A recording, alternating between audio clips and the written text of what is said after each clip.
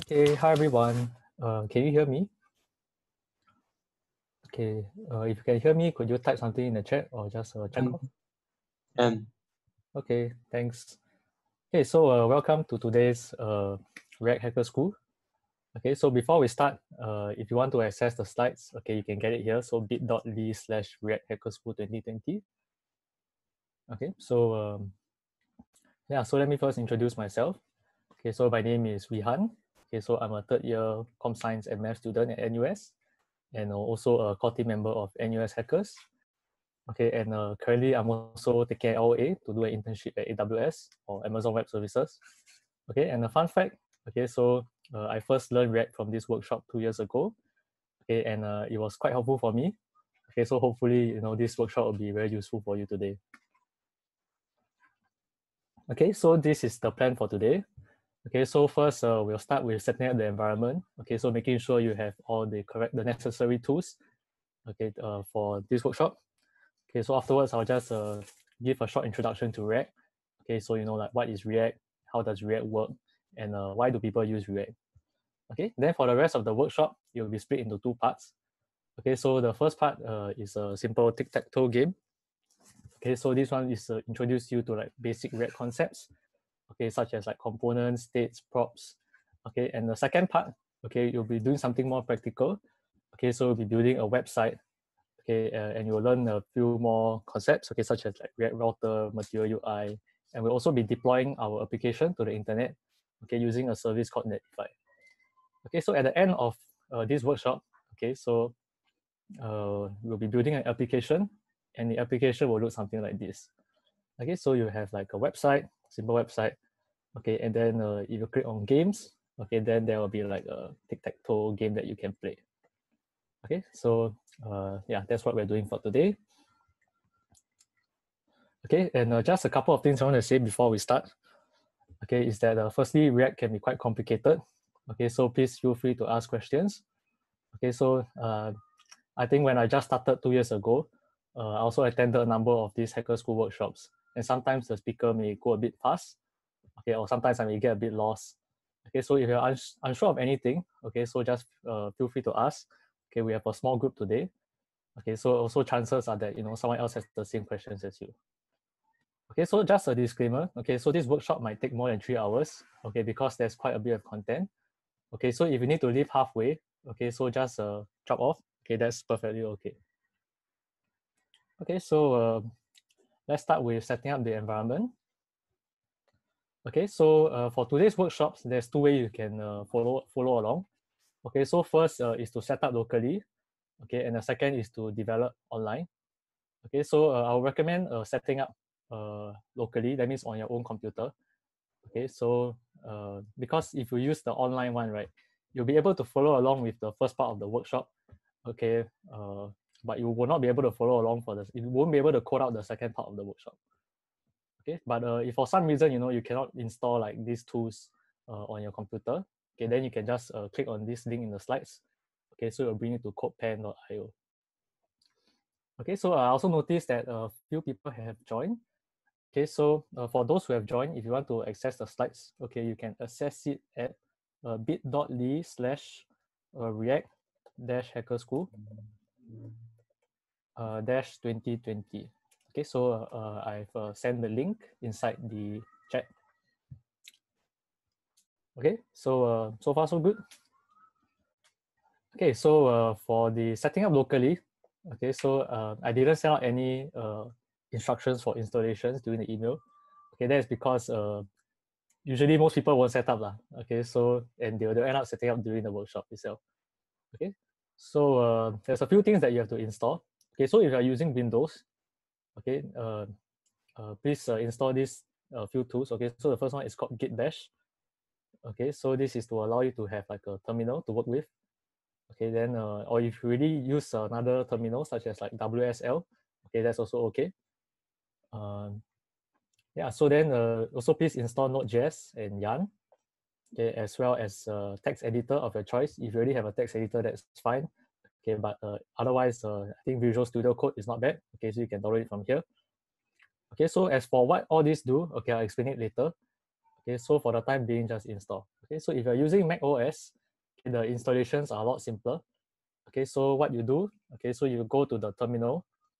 Okay, so if you just uh, click on command space, okay, then you search for terminal. Uh, okay, then you'll bring it to like a terminal. Then what you do right is just uh, copy these commands and paste it inside this uh, terminal. Okay, so then you just do for all four of these. Okay, then uh, you'll install it for you. Yeah. Okay, so I'll give it maybe about 10 minutes, okay, for the installation.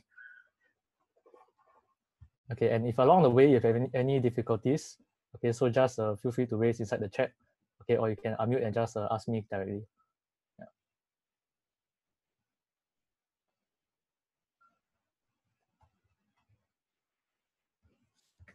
Okay, so just a check, right? How many of you are uh, from NUS? Okay, so uh, if you are, can you just like check off on the this one? Okay, just just curious, huh?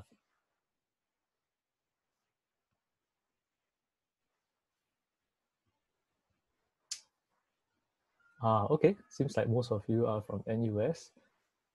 Okay, then the rest of you are you all from uh you're all from NUS? I see. Okay.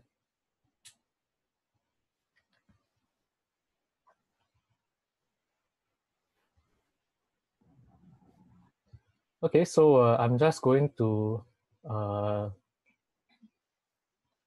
uh, give about 10 minutes. Okay, so when you guys are done, right, can you all like check off on the, uh, just check off on the participants list lah. Yeah, so that I know that you're done.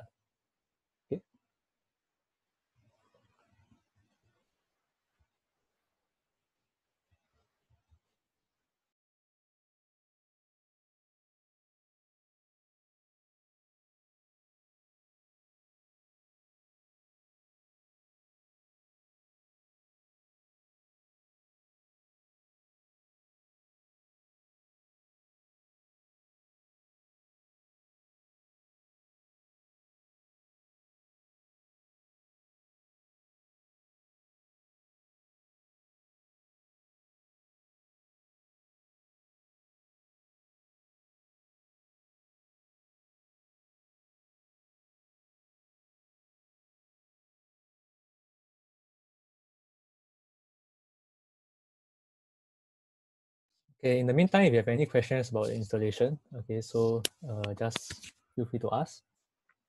Okay, so I think a couple more of you have uh, just joined. Okay, so uh, if you, okay, you can refer to the link that I sent in this chat, in the, in the Zoom chat. Okay, so this is the link to the slides. Okay, so right now we are at the installation step. Okay, so uh, basically the setup Okay, so we will, we are, okay, so if you're using Windows, okay, you can install like these following tools here. Okay, if you're using Mac, you can uh, follow these instructions uh, to install.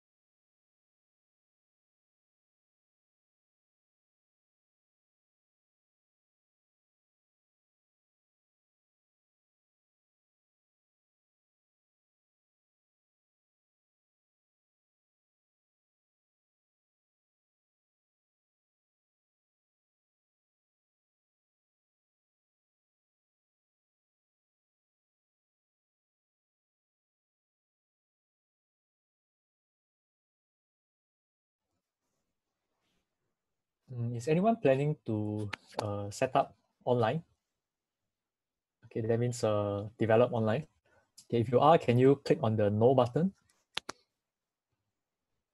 Okay, so that uh, I'm aware. Lah. Oh, okay. Looks like everyone's planning to set up locally. Okay.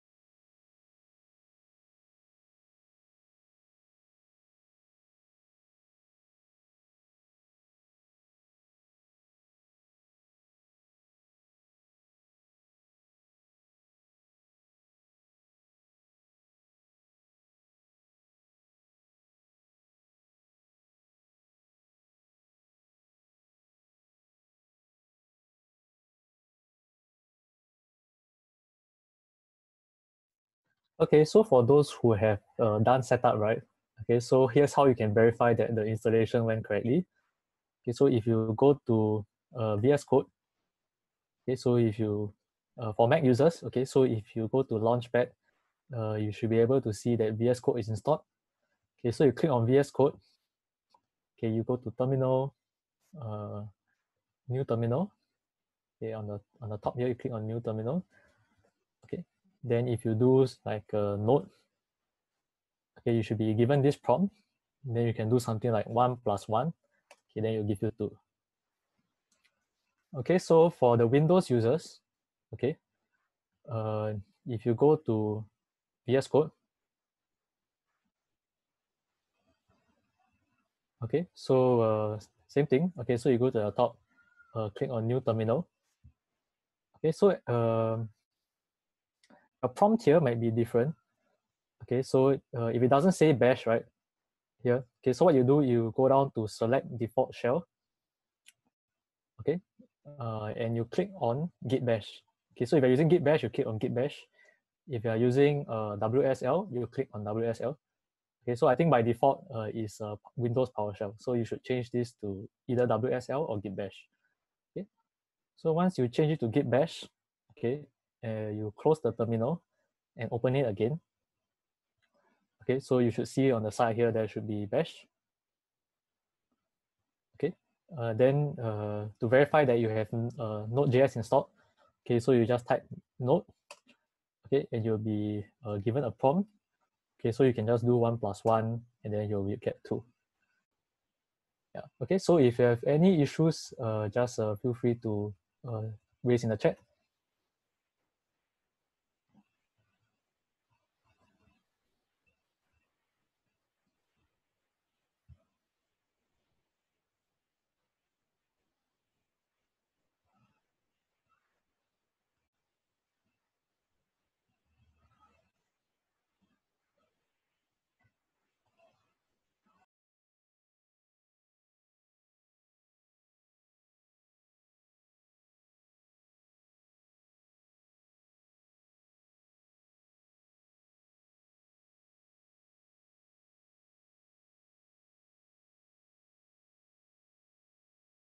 Uh, yep, the Node version, as long as it's not too old, okay, as long as it's like version 10 and above, it should be fine.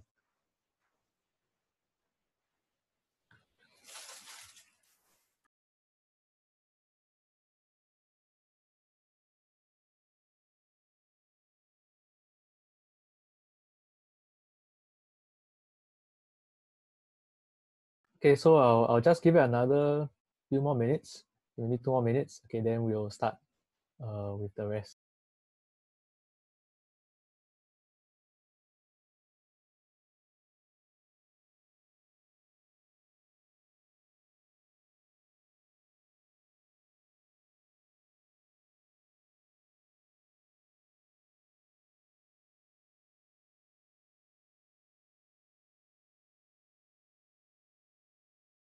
Oh, okay. So for React, right?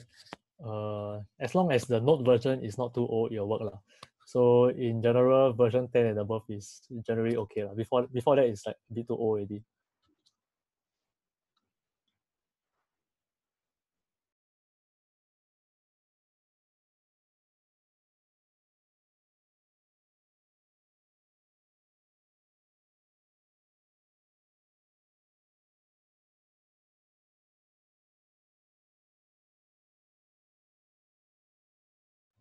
Okay, so uh, is everyone okay? Okay, so I see some of you never take off. Okay, I'm not sure if it's because uh, you're not following or if you are still stuck. Okay, uh, but then the next part I'm going to do is just an introduction to React. Okay, so during this time, you can still continue to install. Okay, the coding will happen uh, maybe after 20, 30 minutes. Okay, yeah. Okay, so um, yeah, so uh, what is React? Okay, so uh, React is an open source uh, JavaScript library used for building front-end applications. Okay, so it was created in 2011 by Facebook engineer Jordan Walke. Okay, so it's been around for quite a while, and it is uh, currently maintained uh, by Facebook. Okay, so uh, React is mainly used for building web interfaces. okay, it's like when you access a browser, okay, so that what you see, okay, so that, that what you see is uh, what the purpose of React is. Okay, so it's used by uh, websites, you know, such as Facebook, Instagram Web, Airbnb, Uber, Netflix, okay, to build their websites.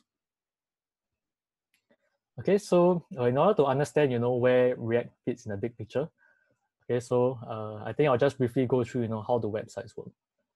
Okay, so for example, when you uh, open your browser and you go to, for example, google.com, okay, uh, what happens behind the scenes is that the browser will send a HTTP request to Google server. Okay, so if you're going google.com, you're going to Google server. Okay, and what is a server? A server is just a computer somewhere on the internet, uh, connected to the internet. Okay, and it's like running 24 7. Okay, so when you make this HTTP request to this server, okay, this server is going to respond to you with uh, some files. Okay, so namely HTML, CSS, and JS files. Uh, okay, uh, I heard some echo. Okay, but uh, yeah, so anyway, the server will return uh, some HTML, CSS, and JavaScript files. The browser will take this HTML, CSS, and JavaScript files and you'll display what you see on the browser. Okay, so now uh, let's zoom into what goes on inside the server. Okay, so nowadays for uh, modern web applications, it's typically structured as three different tiers. Okay, so you have the front end, the back end, and the database. Okay, like I mentioned earlier, the front end, you know, is what you see. Okay, so uh, for example, if I go to Facebook, right? So what I see here, okay, so this is the front end. Okay, and this can be built using React, or you can build with like uh, other front end frameworks, you know, such as Angular, Vue, or Svelte. Okay, so uh, okay, so you can think of the front end as just a shell. Okay, it does not itself process or contain any data. Okay, so you will have to retrieve data from the backend. Okay, so the backend is where all the data is processed. Okay, so uh, some examples of backend servers are like Express, you know, or you have like Ruby on Rails, Laravel, ASP.NET. Okay, so these are just some examples of backend. Okay, so the backend it, uh, it processes data, but in itself it does not uh, store the data. Okay, so the data right is uh, stored stored in a database. Okay, so uh, yeah, so some examples like MySQL, MongoDB, or Postgres. Okay, so this is how the modern uh, web application looks like. Okay, so I hope this helps you to appreciate in a way React uh, is inside the uh, architecture. Yeah. Uh, so any questions at this point? Okay, uh, if not, moving on. Okay, so the next question is, how does React work? Okay, so uh, before we talk about React, okay, let's uh, talk about HTML, CSS, and JavaScript. Okay, so uh, know, uh, the HTML, okay, so we, remember I said there are three files uh, earlier. Okay, so HTML, CSS, and JavaScript that is written by the server. Okay, so the HTML defines the structure or the skeleton of a website. Okay, so the CSS, you know, adds styling to the website. Okay, makes the website looks nice, uh, looks pretty. Okay, and the JavaScript makes a website dynamic. Okay, so dynamic meaning if your website has a button, right? So if you just use HTML and CSS to build a website, okay, you can't do anything with your button. Okay, so JavaScript allows you to attach, like for example, event handlers to this button. So when you click on the button, then the button will do something. Okay, so this is how JavaScript makes a website dynamic. Okay, so these three uh, types of languages, okay, so they form like the basis for the web. Okay, and uh, actually in essence, right, HTML, CSS, and JavaScript, right, at, at the very, uh, okay, they are, they're just uh, text files. Lah. Okay, so they are just text files. You can open it with Notepad and it looks just like a regular text file. Okay, so the question is, you know, if I have a plain text file, how does the browser understand you know what's going on inside okay so the browser uses something called the document object model. Okay so uh, it will take in this html file okay that defines the skeleton of the website. Okay and the browser will convert it into a tree structure. Okay so the root element will be the html so this will correspond to like the out outermost text okay which is the html tag.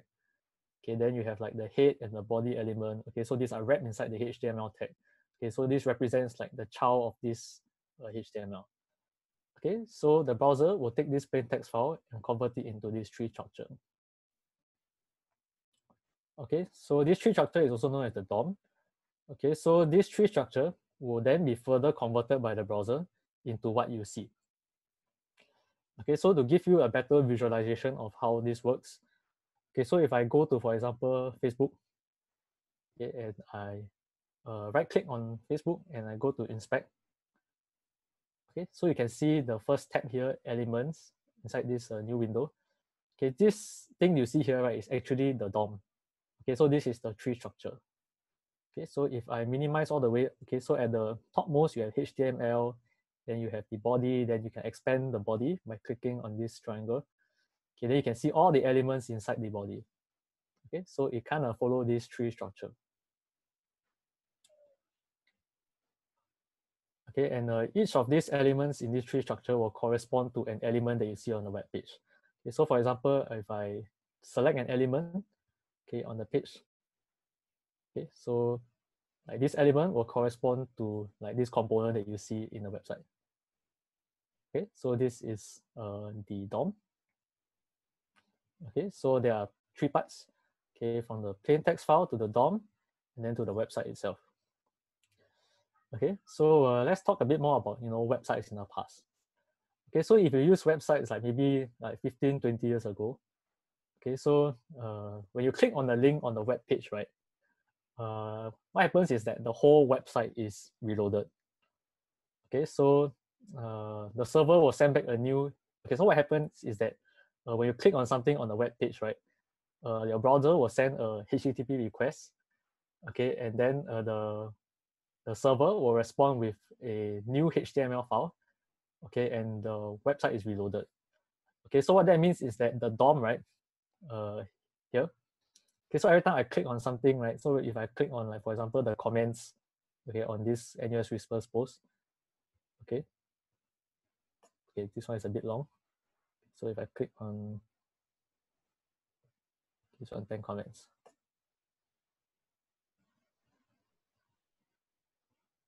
Okay, so if I click on something, right, it doesn't actually reload the whole page, right? Uh, but in the past, what happens is when you click it, you'll reload the whole page, and the whole DOM here, right, will be, uh, how you say, re-rendered. Okay, so one example of this is uh, Wikipedia. Okay, so let's say I go to Wikipedia, the main page. Okay, so uh, there are some things that are the same, right, no matter uh, which Wikipedia page you go to. Okay, so for example, uh, this left bar here. Okay, so actually when you go to any page, there's no need to kind of uh, rebuild this entire sidebar. Okay, but that's what happens. So when I click on the link, right, you see that the whole page refreshes and you can see like there's a like the, the, the sidebar also refreshes. Okay, so this is kind of like the old school kind of paradigm. Okay, so when you click on something, the whole page refreshes. Okay, so nowadays, okay, we have something called single page applications. Okay, so the application is uh, one single page. Okay, what this means is that, you know, when I click on something, uh, instead of reloading the entire page, Okay, the DOM is mutated using JavaScript. Okay, so uh, I'll show you an example. Okay, so like just now, right, when I click right on the number of comments, right, you don't know the whole page. You only change the parts where it needs to be changed. Okay, then let's say uh, F bar should always be the same no matter where I go to. Okay, so for example, if I click on the home, right, okay, so now you watch the DOM. Okay, so when I click on like this button, right, or you see that there are some purple flashes in the DOM. Okay. These purple flashes, right, uh, means that a mutation is happening at that DOM. Okay, something is being changed at that DOM. Okay, so instead of changing the entire DOM, I only change part of it. Okay, so this is the idea behind a single page application. Okay, so ideally, okay, only the elements that require change are changed. Okay, so React itself is a single page application yeah, okay, so the next question you might have is, you know, how does React know what needs to be changed? Right? How does it know when I click on this button, right? Uh, I should, what, what are the elements inside here that I should change?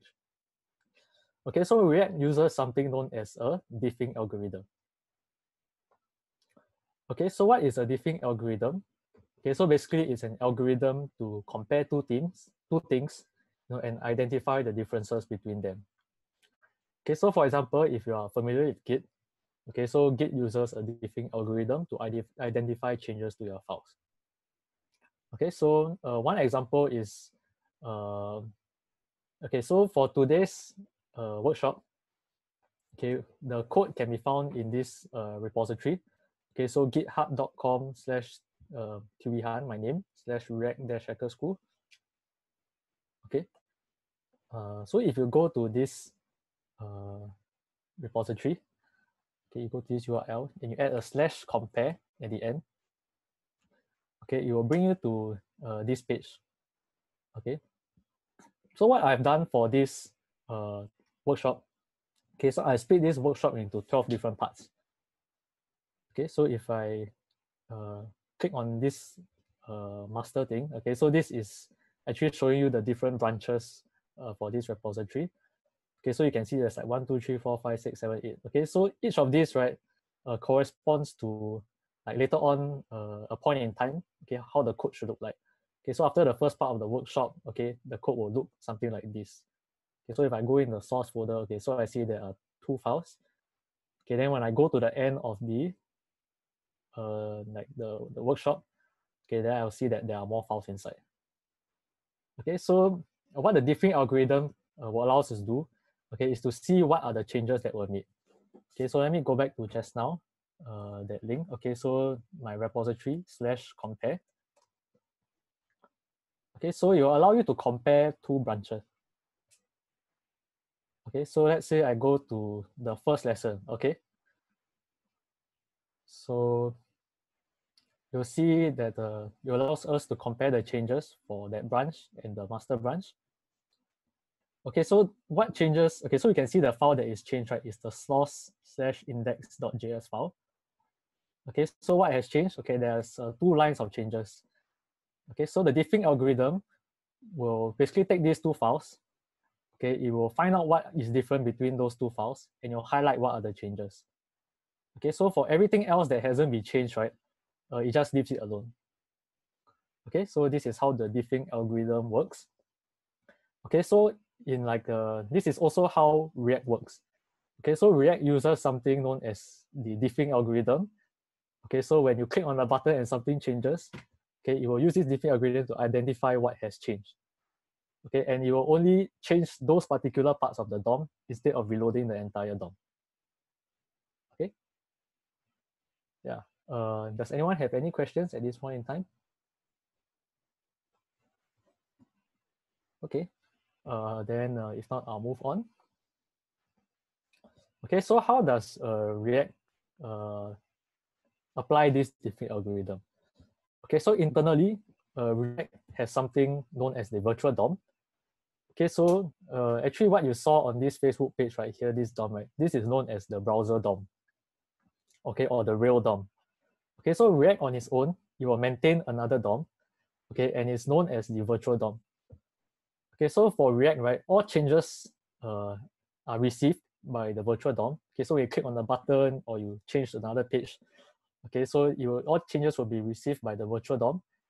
Okay, and then uh, React will compute what are the changes that need to be done. Okay, and then these uh, changes will be propagated into the browser DOM. Okay, so uh, it kind of looks something like this. Okay, so you have a virtual DOM and the browser DOM. Okay, so when there's a state change, you click on the button. Okay, so for example, right, uh, you make a change to like one React component. Okay, so React will find out what else has changed inside the virtual DOM. Okay, so it says, oh, because uh, this element changed, then the element that's connected to it also changed. Okay, so you'll compute the diff to see that, oh, these two elements need to be changed. Okay, then uh, it will do a re-render. Okay, but you only re-render the parts that have been changed. So like the rest of these, uh, the blue parts, right, they are not touched at all.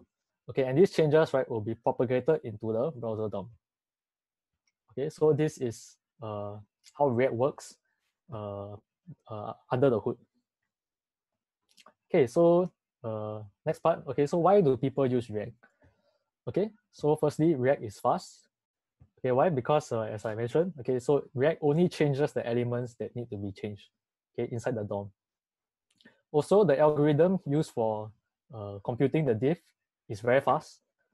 Okay, so uh, if you see, uh, you only changes the part that needs to be changed. Okay, and the computation of the diff itself is fast. Okay, so the whole process is actually very fast. Okay. Uh, the next reason is that React is very intuitive.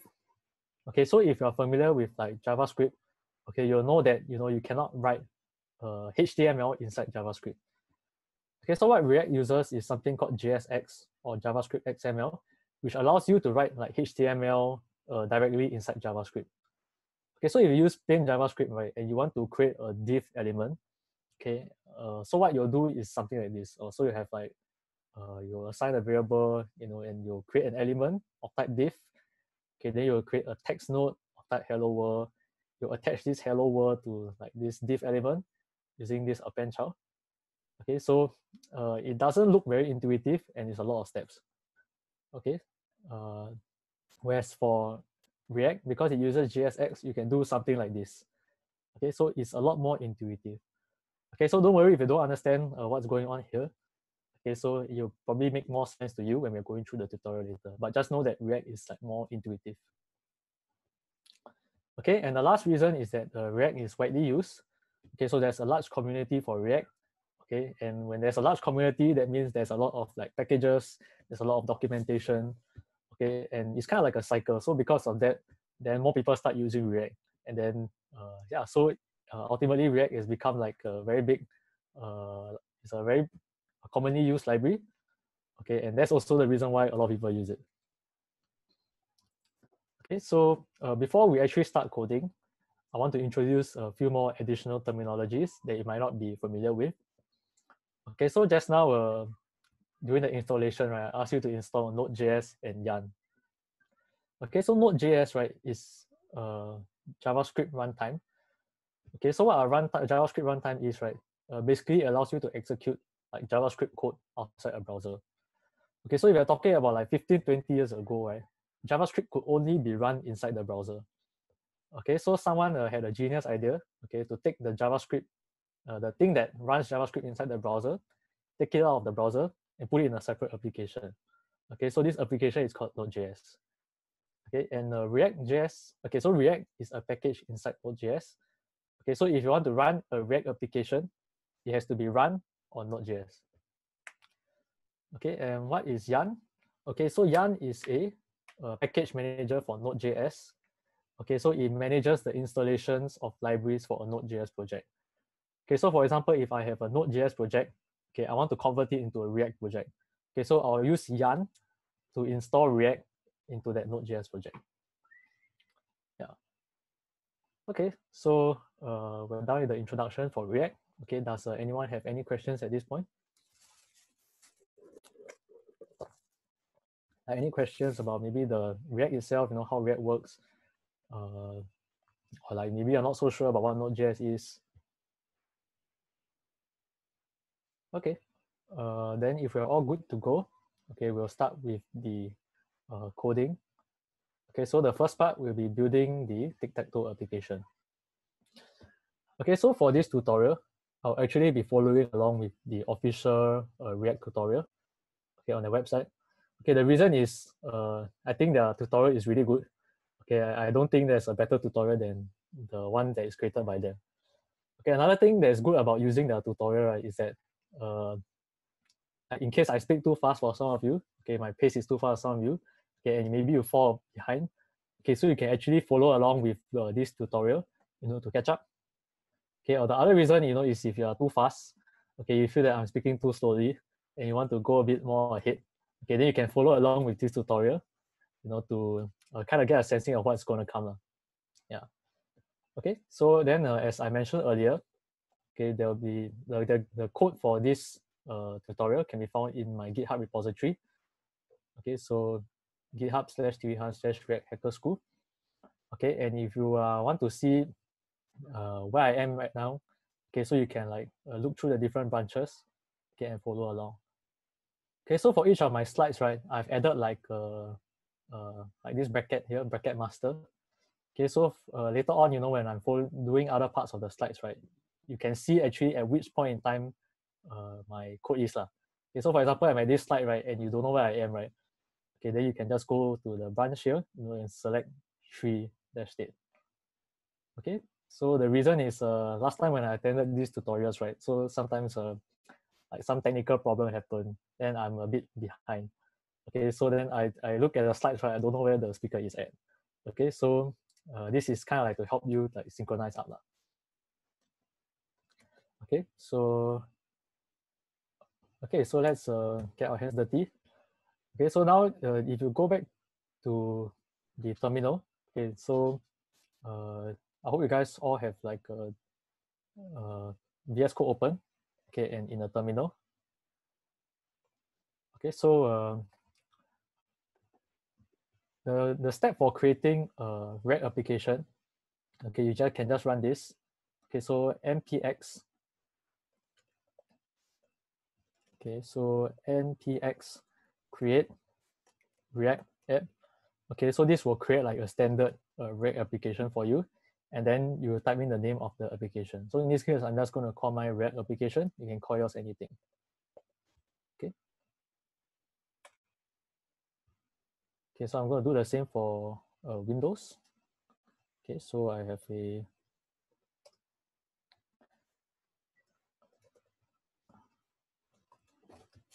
Okay, so I just uh, go into the directory that I want and I can just type npx create react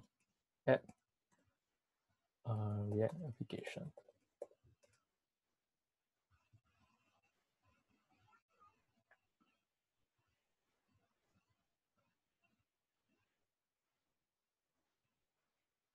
Okay, so uh, if anyone has problems, okay, just uh, feel free to raise in the chat. Okay, so uh, I think someone uh, privately message me that they cannot open Bash in a VS Code.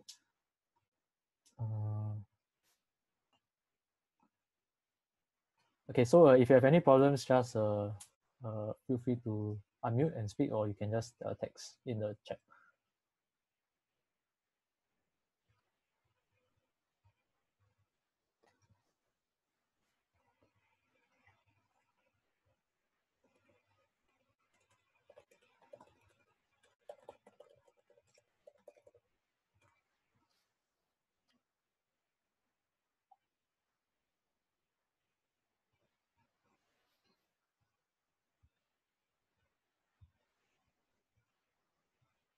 Okay, so uh, probably this will take a couple of minutes. Okay, so what you can do after that, okay, you cd into the folder that you just, okay, so like this command will create a folder called React application. So cd allows you to enter this uh, folder. Okay, so I do cd React application.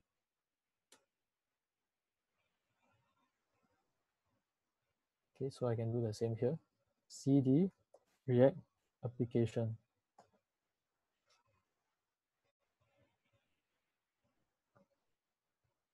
Okay, then uh, what you can do, right, uh, is run yarn start.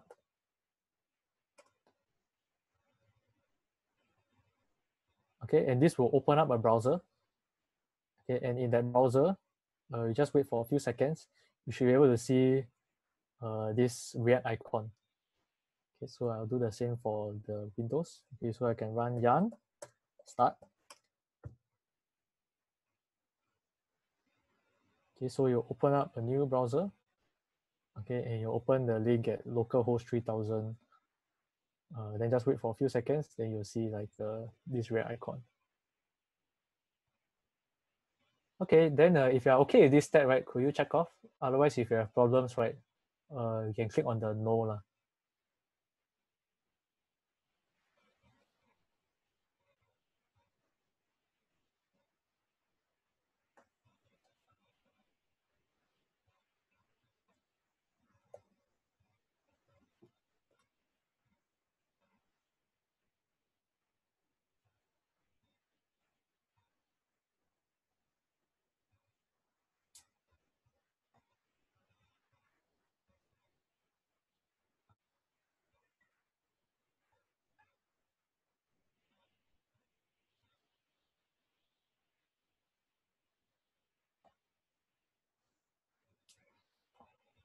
Okay, so seems like a number of you are okay. uh, I'll just give it like until 150. Okay, so for the rest to catch up.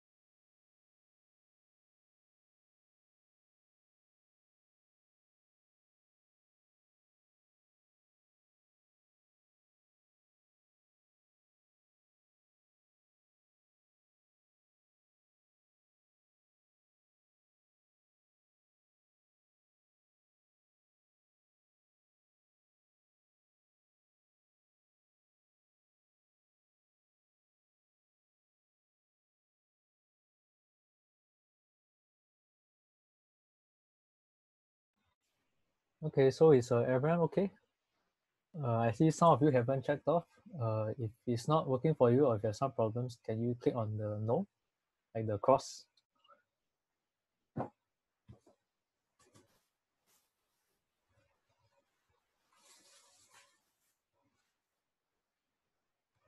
Okay, uh, I think maybe some of them are AFK. Okay, so uh, I'll just continue. Okay, so uh, after you are done, right? Okay, so uh, yeah, okay, so delete everything from the source folder. Okay, so sorry, uh, you, okay, so you have to open the project okay, inside. Uh, you have to open the project where the application is. Okay, so you can go to VS Code, okay, open folder, look for the folder where your application is. Okay, then uh, open. Okay, then you should be able to see the files here. Oh, okay, for, so for me, it opens a new uh, VS Code terminal. Okay, so I'll just close the other one. Uh, okay.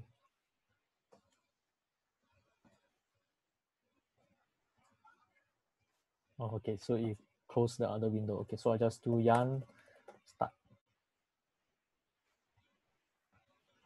Okay, so uh, look for the folder where you ran your application.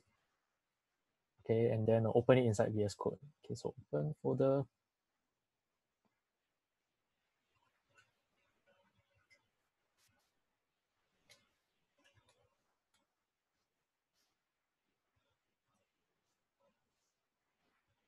Uh, okay, Charles, uh, if you go to the terminal, right, uh, and you type node, right, uh, what does it say?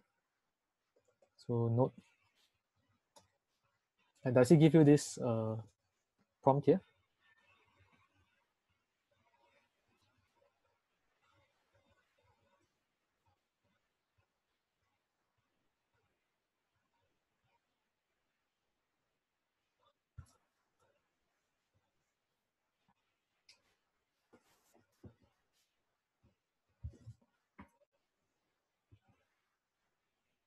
Okay, so uh,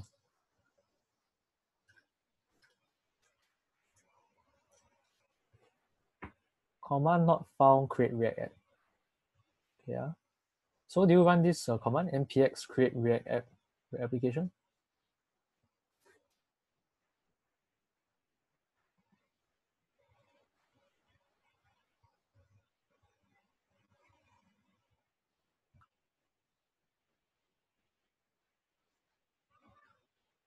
Okay, yeah, anyway, for the rest, right, uh, you, should, you should go to your source folder. Okay, you see that there are a number of things inside here. Okay, so uh, what I want you to do is just uh, select all of them. Okay, and just uh, delete everything inside here. Okay. Uh, so you'll probably get some error, okay, failed to compile. Okay, that's all right because that's because you just remove uh, some components. Okay, so then uh, what you want to do after this is uh, create two files. Okay, so you call the first one index.css. You call the other one uh, index.js. Okay, and uh, in the slides, I've included uh, two links. Okay, so the first link is for the index.css. Okay, so just go back to the index.css file and copy and inside and save. Okay, then you do the same for the .js file. Okay, so you copy everything inside here and you paste it inside index.js. Okay, so oh, okay, so another thing that I forgot to add inside here. Okay, so for each of these files, okay, sorry, as in for the, for the index.js file, okay, you add an additional line on top. Okay, so import React from uh, React. Okay, and uh, import React DOM from React DOM. Okay, so uh, I'll just copy and paste this into the slides.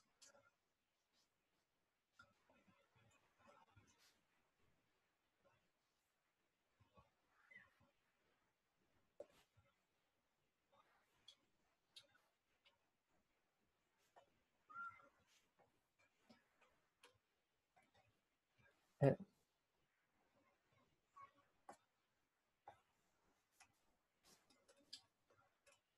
add these two lines to the start of your index.js file. Okay, so the first one is import React from React. The other one is import React from React DOM. So import React from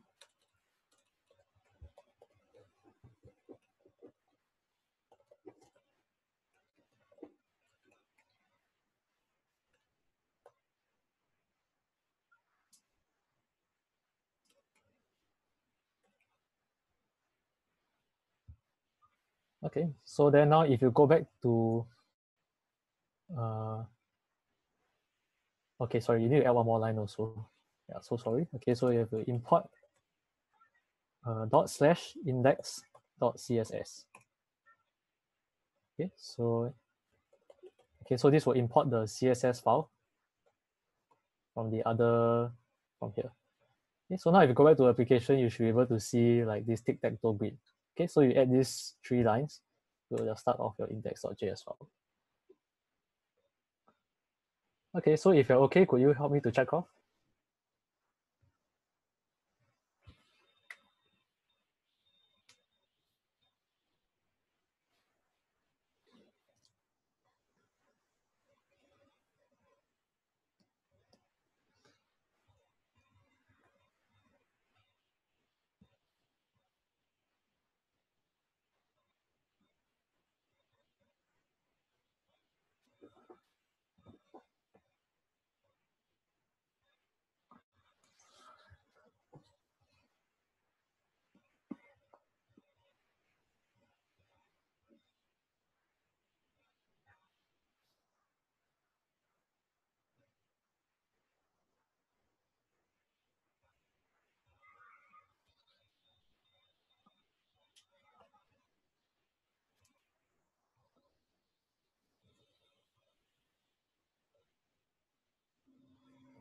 Oops, sorry, uh, this is a React DOM. Sorry, yeah, I bet. So import React DOM from React DOM. Okay, my bad. Uh, okay, so Charles, uh, what what error do you get when you try to run uh, this npx create react app command?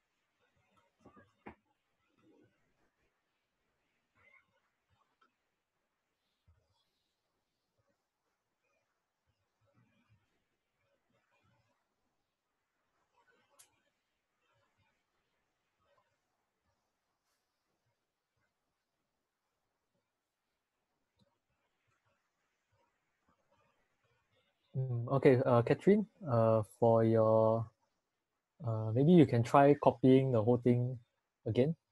Okay, so go back to the index.js file, you copy and paste and then add the three lines again. Okay, it could be an error with the copying.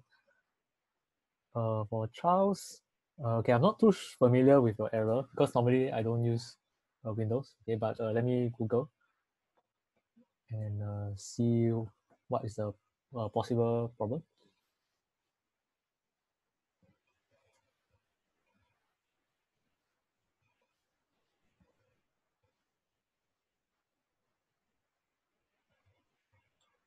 Ah, okay, that's great.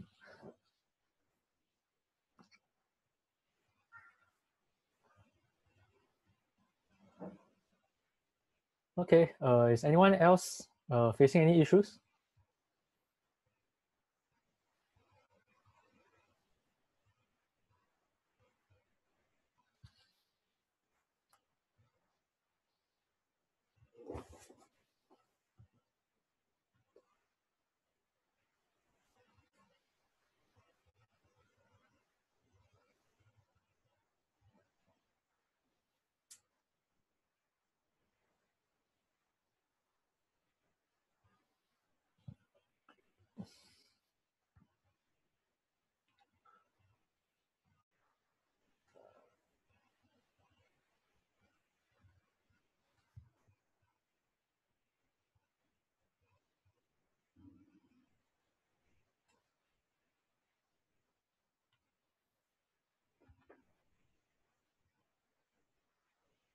Uh, okay, does uh, anyone else need help for setting up or do you need more time for setup?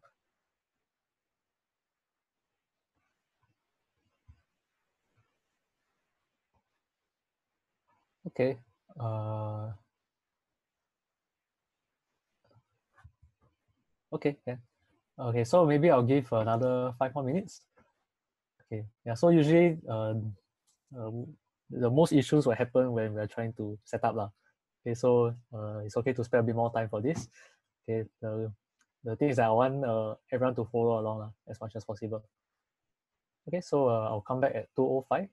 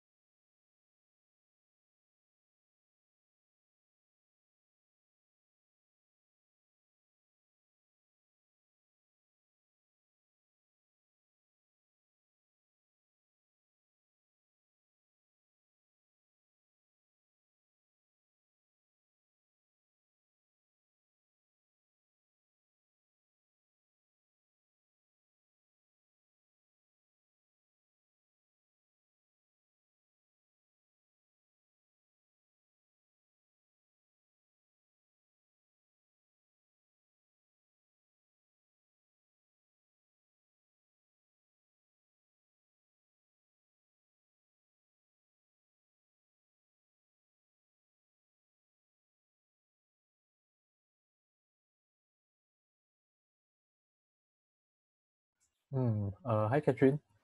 Um, yeah. Sorry, where is this error happening? Oh, index.js file.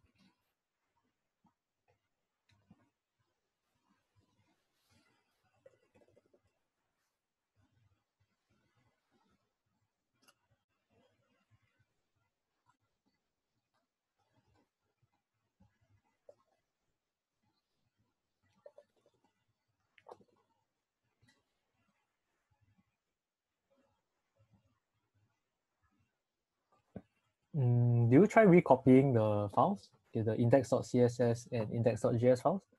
Oh, okay.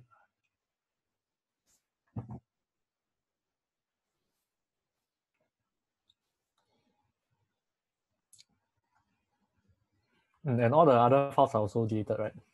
Uh, just checking.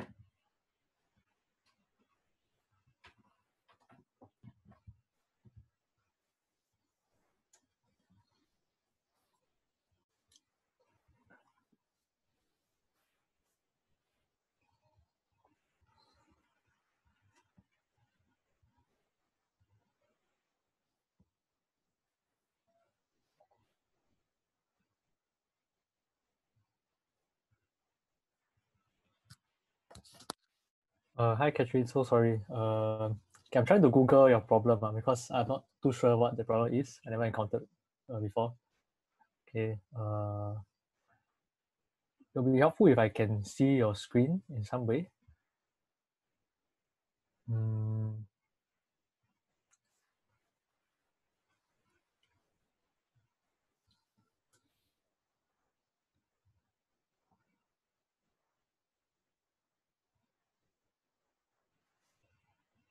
okay, can.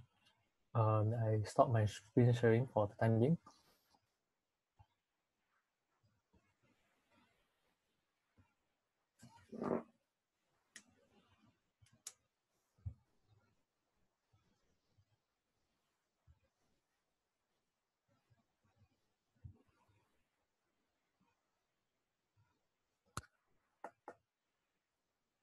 Mm, I see. Okay, so it looks a bit. Uh, okay, I see. I think the copying might be a bit uh, wrong. Okay, so if you go back to the other, the CodePen,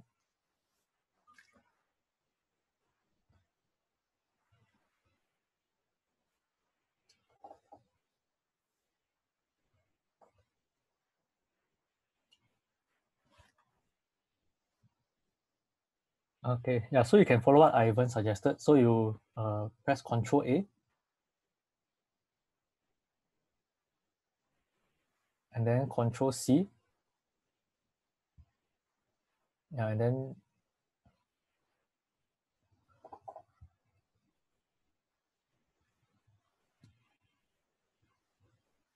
I think you should be copying everything. Yeah. Ah, okay. Yeah, this looks more correct. You can see that the highlighting is also correct. Lah. Okay, so uh, you can see the CSS file. Is it also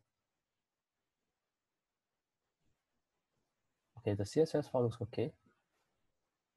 Also, something changes after you save it. I see.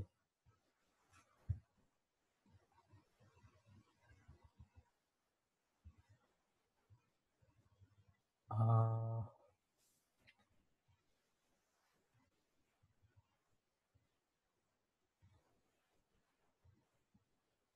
okay, uh, sorry, could you try to rename your file, right, from index.js to index.jsx? Uh, X at the back, yeah. Okay, and then uh, you uh, copy and paste.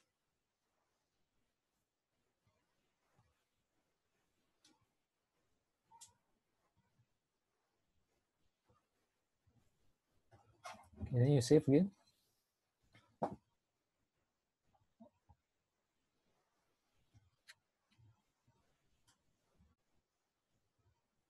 Oh, okay. So I think I have to use index.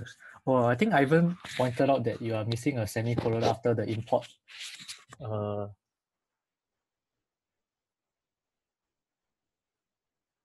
okay, so you just add a semicolon at the back. Okay, then maybe you try renaming back to index.js again.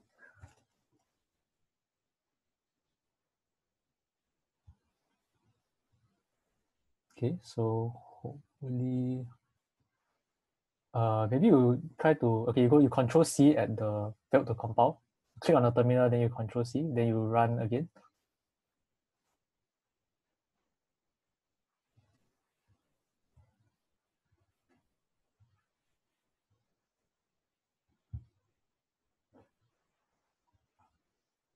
Hmm, okay.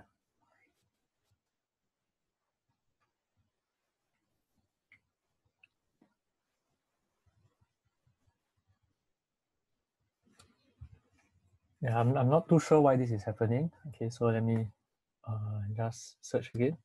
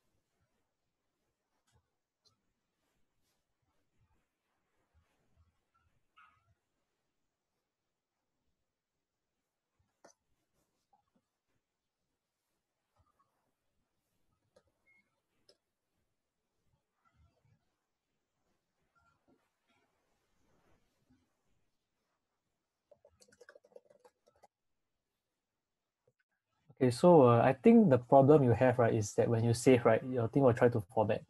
Okay, so uh, I think you should try to disable that. Okay, so you should you go to the settings maybe.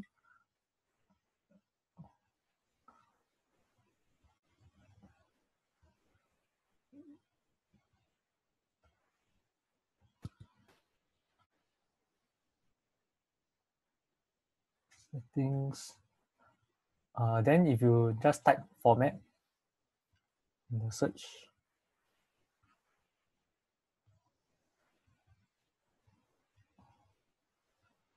hmm, okay, so looks like it's being turned off actually, format or save.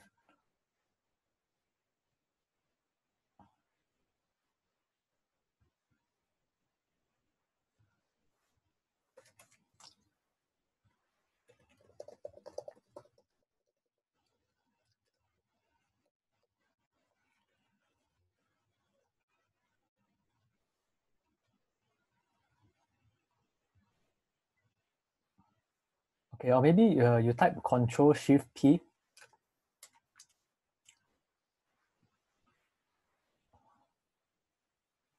Uh,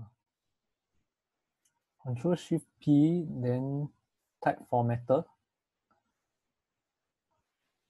Okay, then a formatter config thing. Oh, okay, then you can just change on save to false, the one at the top. Okay, so hopefully this will help to resolve. Okay, so uh, you just paste again. Uh, uh, you just copy from the index.js file and then you can just paste again. So hopefully now it will not format it. Okay, then if you try saving. Ah, okay.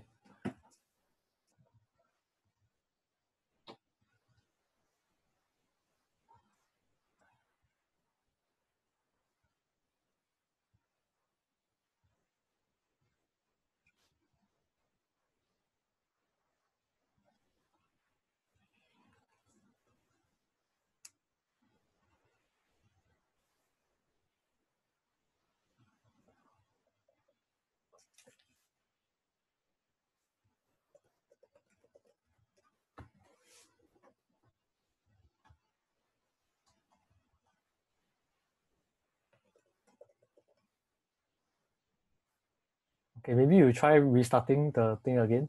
Maybe the changes didn't take effect.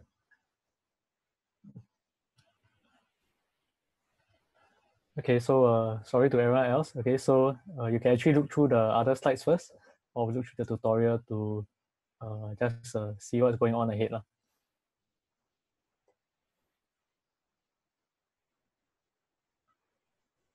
Yeah, uh, so you, you can just close and uh, restart it. Lah.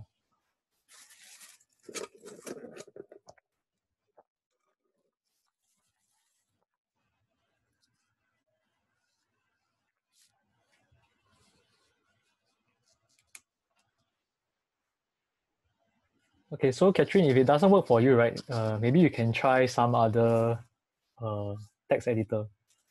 Yeah, it's very strange. Uh, usually Visual Studio Code is very cooperative, uh, so usually I don't have much issues with it.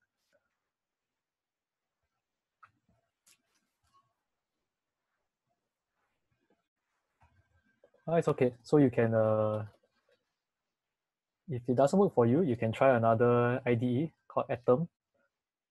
Okay, or uh, yeah, so that's another alternative.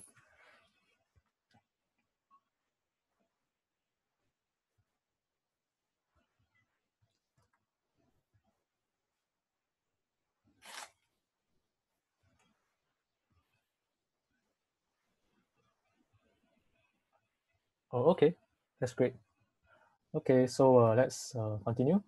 Okay, so hopefully everyone has uh, yeah.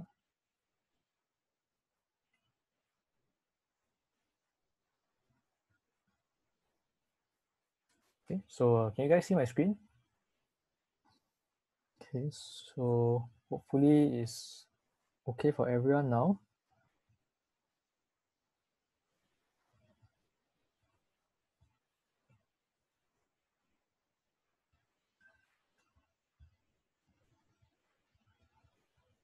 Okay, sorry, uh, where I can't see the chat.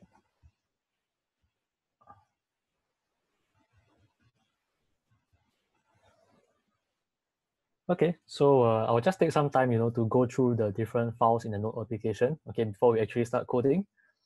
Okay, so at the base of the, uh, okay, so we just look through the different files. Okay, so there are a few files that will always be there uh, for every uh, Node.js application. Okay, so the first file is package.json. Okay, so this file, right, is kind of like the configuration for your project. Okay, so you have a name of the the application. Okay, so React application. Okay, so the important uh, configurations, right, are these two. Okay, so dependencies and scripts.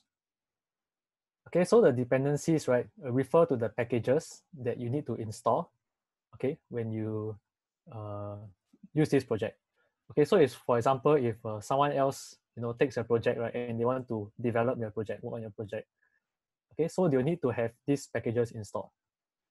Okay, and where are these packages installed to? Okay, so this will be installed to this folder called node modules. Okay, so this is where all the packages are installed.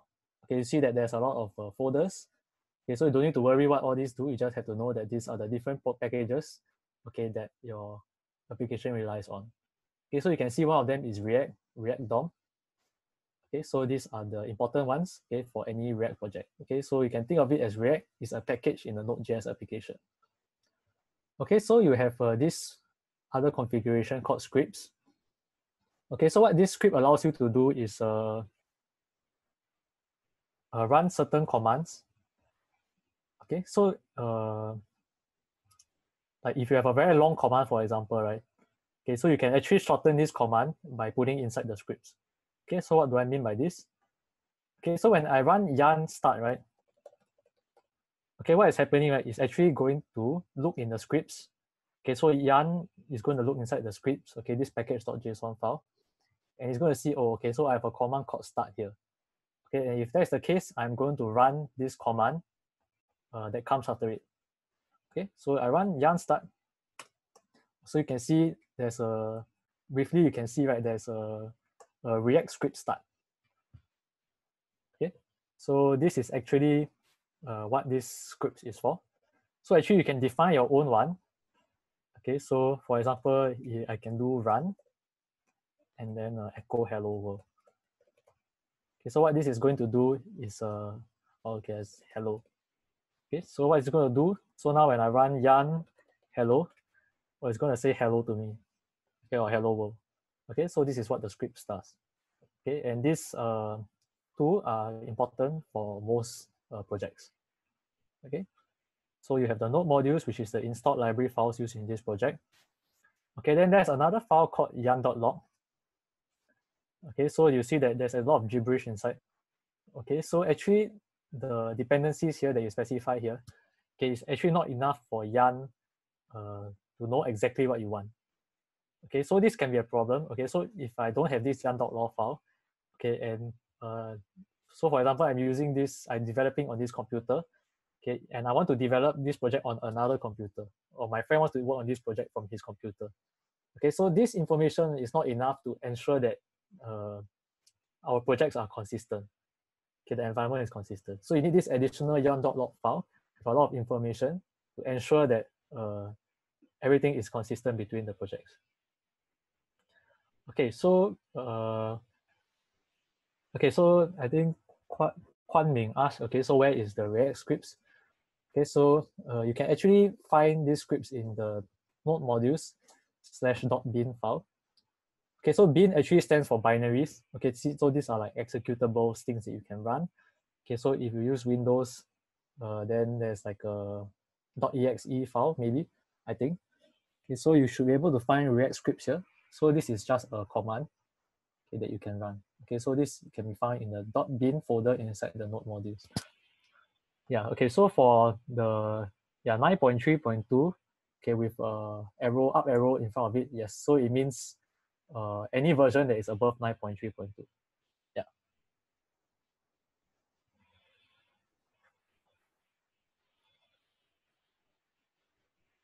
Uh, yes, inclusive.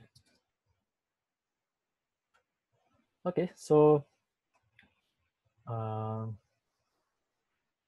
okay, so these three files, okay, so these belong to uh, typical node application.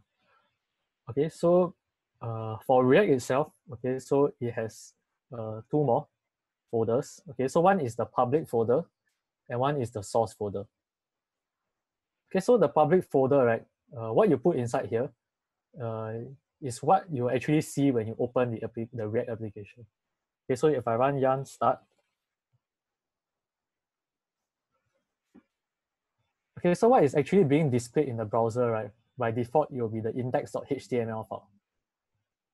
Okay, so, uh, but then because uh, your, like uh, by default, right, uh, for all applications, you know, React or not React, okay, you will always try to look for the index.html file and you'll render it there. Okay, so if I go to slash index.html, okay, I will be able to see the application also. Okay, just by that by default, right, there's no need to include this like index.html. Okay, so like this is enough. Okay, so all these other assets inside here, okay, so you have a picture of the React icon, okay, or you have an icon for the React. Okay, so these are all stored inside the public folder, and you can actually access them uh, by just typing a slash, then followed by their name. Okay, so logo 192.png. Ah, okay, then I'll be able to see the picture here. Okay, so the same for these other assets. Okay, so that is is uh, that's uh, what the this public folder is for. Okay, so these are the things that will be made public on the internet.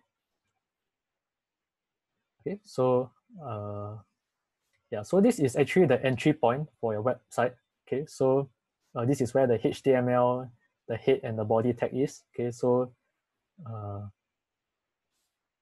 yeah, so this is actually forms the skeleton of your website. Okay, so you might ask, you know, then where does React come in? Okay, so the React components, they are stored in this source folder. Okay, and uh, you might ask, you know, how does uh, this, okay, so you can see like there's this React, uh, some React stuff here. Okay, how does this React link to this index index.html? Okay, so if you expand this, uh, you go under the body, right? You'll see that there's a div okay, uh, div uh, element with an ID of root. Okay, and if you scroll to the bottom of the index.js page, okay, you see that there's this uh, four lines. Okay, so react dom.render game document.get element by ID root. Okay, so what this is going to do, okay, so this will look for uh, the element by the ID of root inside the index.html page here. Okay, and it's going to insert uh, this game. Okay you uh it's going to insert this game thing okay inside here. Okay so for now you don't have to know uh how what what's inside the game. Okay so you just have to know that uh, react dom allows you to connect uh, your react uh, application to this index.html file okay uh, so does anyone have any questions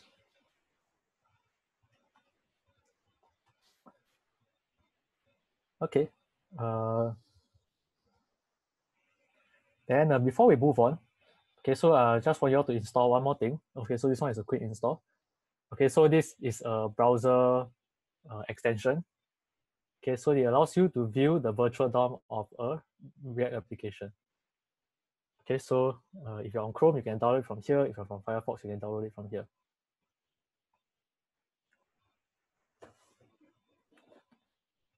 Okay, so uh, what this allows me to do, okay, so after I install, right, okay, you should have like a icon here.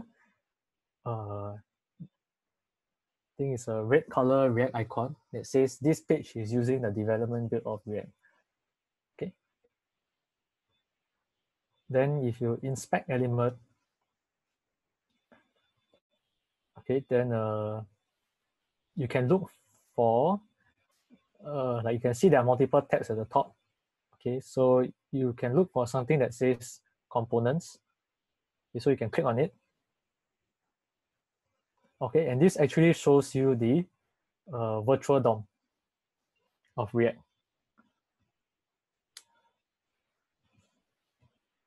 Okay, so you have the browser DOM, which you can find at elements. Okay, so this is the actual DOM, and then you have the virtual DOM okay, which is here.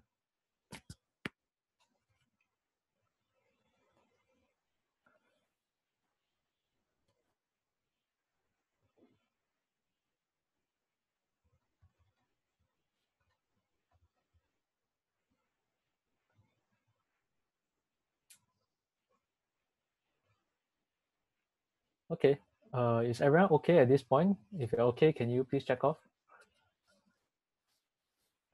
okay, or if you're still installing the browser, the extension.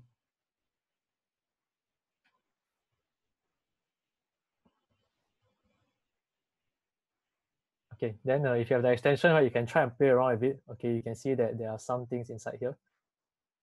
Uh, this virtual DOM.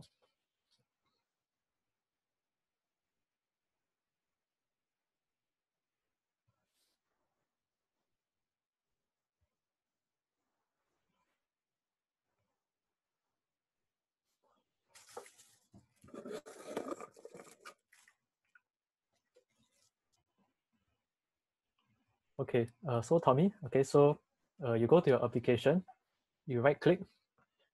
Okay, so you go to inspect. Okay, inspect or inspect element, depending on your browser. Okay, then you see that uh, at the top here, there'll be a number of tabs. okay, then uh, you won't be able to see the components tab here if I'm not wrong. Okay, so you can see that there's this like drop down. So you click on this drop down, uh, you'll see that there's like components and a profiler. Okay, yeah. So if you click on components, you'll see the virtual DOM.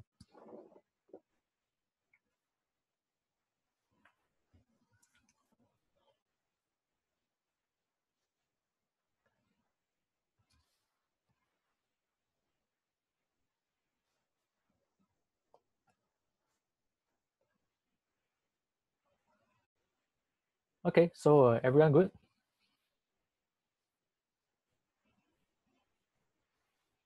Okay, so uh,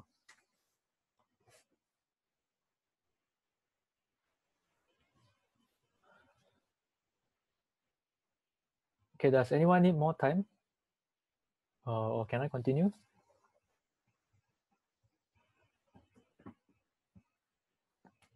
Okay, okay, so now uh Okay, two more minutes. Okay, sure. Uh, maybe 232. Okay.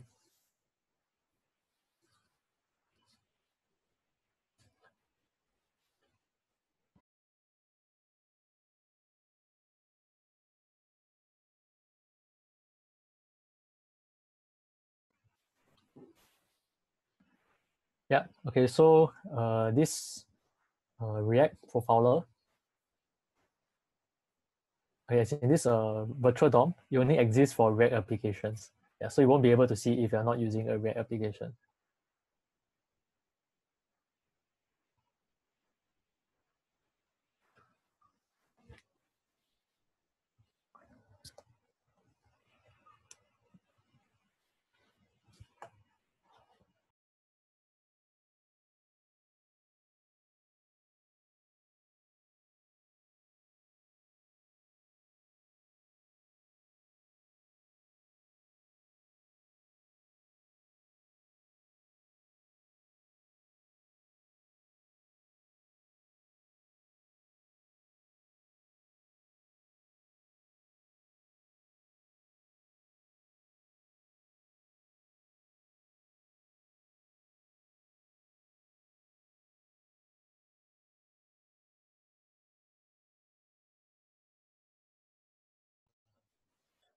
Okay, uh, so maybe let's try. Okay, so let's go to Facebook. Okay, then let's inspect. Okay, so okay, so yeah, you can also see the components.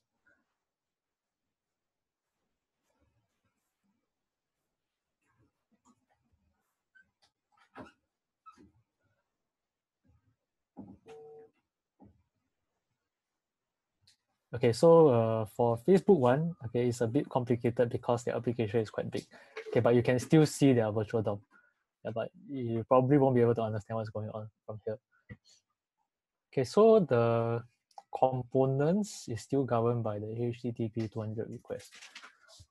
Uh, okay, yeah, in a way. Okay, so previously when you make a HTTP request, right, it returns you HTML. Okay, but now uh, like when you click on the link and you make a request, okay, you will return something else, not HTML. Okay, you'll return probably JSON. Okay, and then the React application will uh, mutate the DOM based on the response. Okay, so it will not respond with a HTML page anymore. It will respond with some kind of data. Yeah. Okay, so um, is everyone okay?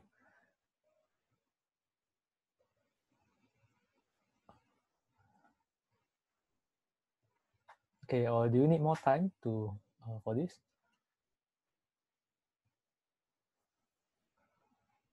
Okay. Okay, so I think I'll continue. Okay, so now uh, let's uh, look into the index.js file. Okay, we'll see that there are three JavaScript classes. Okay, so we have square, board, and game. Okay, so we have three classes. Okay, and what is a React component? Okay, so a React component is a JavaScript class that extends the React.component class.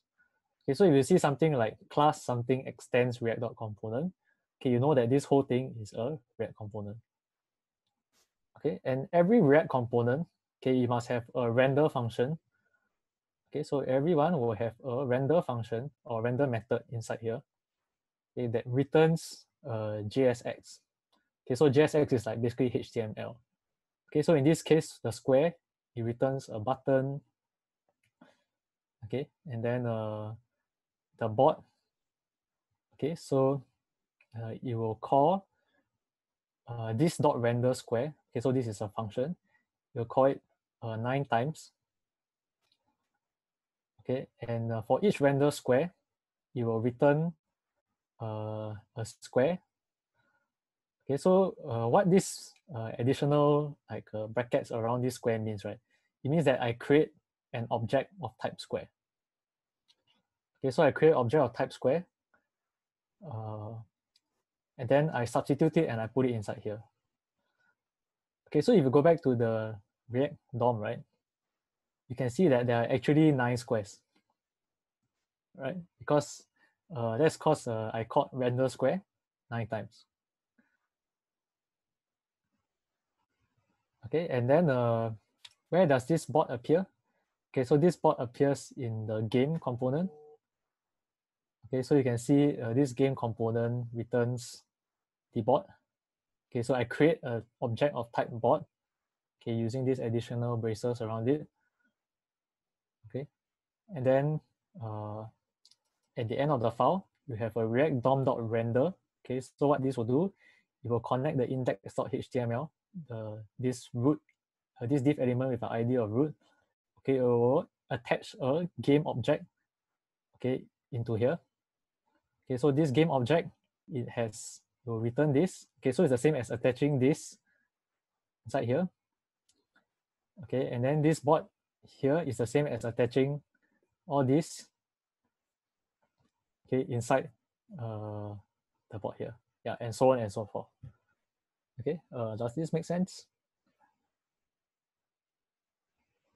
yeah okay so uh, in essence okay so a react component is a javascript class that extends the react.component class okay and then it must have a render function okay so don't worry if you are not familiar with this extends Okay, so I know some of you may not be familiar with like object-oriented programming. Okay, so uh, you just have to know that this will create a React component. Okay, so in here we have three React components, game, board, square. Okay, and then you can see that in the uh, virtual DOM. Okay, so some additional terminologies. Okay, so because the board contains a square, Okay, you can call the board the parent component of the square. Okay, because it contains many squares. Okay, then similarly, you can call the square a child component of the board. Okay. So uh, let's finally make some changes to our application. Okay, so first let's introduce the concept of props. Okay, so what is props? Okay, so props is uh, basically data that is passed from the parent to the child component. Okay, so for example, the square is a child component of the board. Okay, I want to pass some data from the board to the square. Okay, so uh, let's say I want to pass like a value of uh, i. Okay, so what is this i? Okay, so i is a number. And where does this number come from? Okay, it comes from uh, below here when I call this dot render square. Okay, so this dot render square, it will pass in zero. So this zero will go here. Okay, and then this zero will be passed into the square using uh, as a value. Okay, uh, does this make sense to everyone? Okay, and then uh, how does uh, the square receive the value? Okay, so the square can access it using this dot props dot value.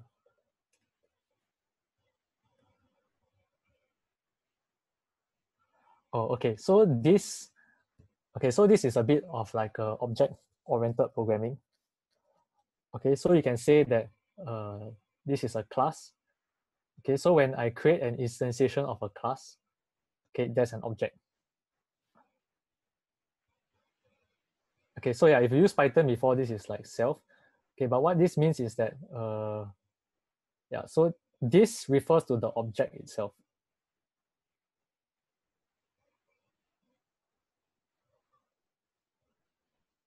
Okay, uh, does that make sense? Okay, so in renders, okay, so in the board here, right, we have a method called render square. Okay, so when I create an object of type board, and I want to access this method, then it will be like the this dot, I want to access I use this dot render square uh, here. Yeah, okay, so if you come from Python, then it's, a, it's a equivalent to self. Okay. Then uh, once I pass this right onto the square, the square can access the value using this dot props dot value. Okay, and now I'm going to put this value inside the button uh, that is written by the square. Okay, so now if I go back to the React application, okay, I will see that there's a 0, 1, 2, 3, 4, 5, 6, 7, 8. Okay, so this comes from here. Okay, uh, does this make sense? Uh, is anyone lost? Okay, so now if you go to the uh, virtual DOM, you click on any of the elements square. Okay, so this square has a props. Okay, and this has a value of zero. Okay, then if you click on the others, you can see that, oh, the props has a value and then it's a different value.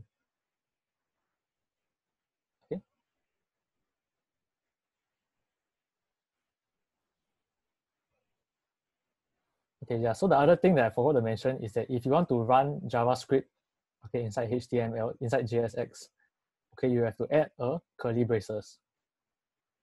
Okay. Because uh, this dot render square itself, right, this is a JavaScript code. Okay, so uh, I cannot miss out the curly braces. If I miss out the curly braces, right, it will treat it as text. Okay, so it will treat it as uh, part of the, uh, you treat it as text lah, yeah. Okay, so I have to ensure that I have a curly braces inside. Okay, then this will actually uh, call the code render square and it will return the square. Okay, so is everyone okay? Okay, so that's all for just the first part. Okay, let's move on to the next step. Okay, so now right, you realize right that uh, this square uh, it returns a button. Okay, but this button uh, doesn't really do anything. Okay, so when I click on each of these, right, uh, it doesn't do anything. Okay, so now I want to add something to these buttons. Okay, so uh, what I can do is uh, add an additional field to the button. And say on click. Okay, equals to.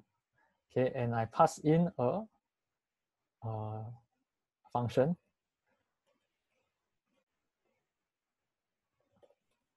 okay, alert, uh, clicked on square,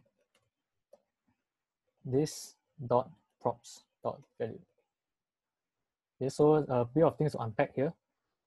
Okay, so this on click field tells uh, the button what to do when you click on it.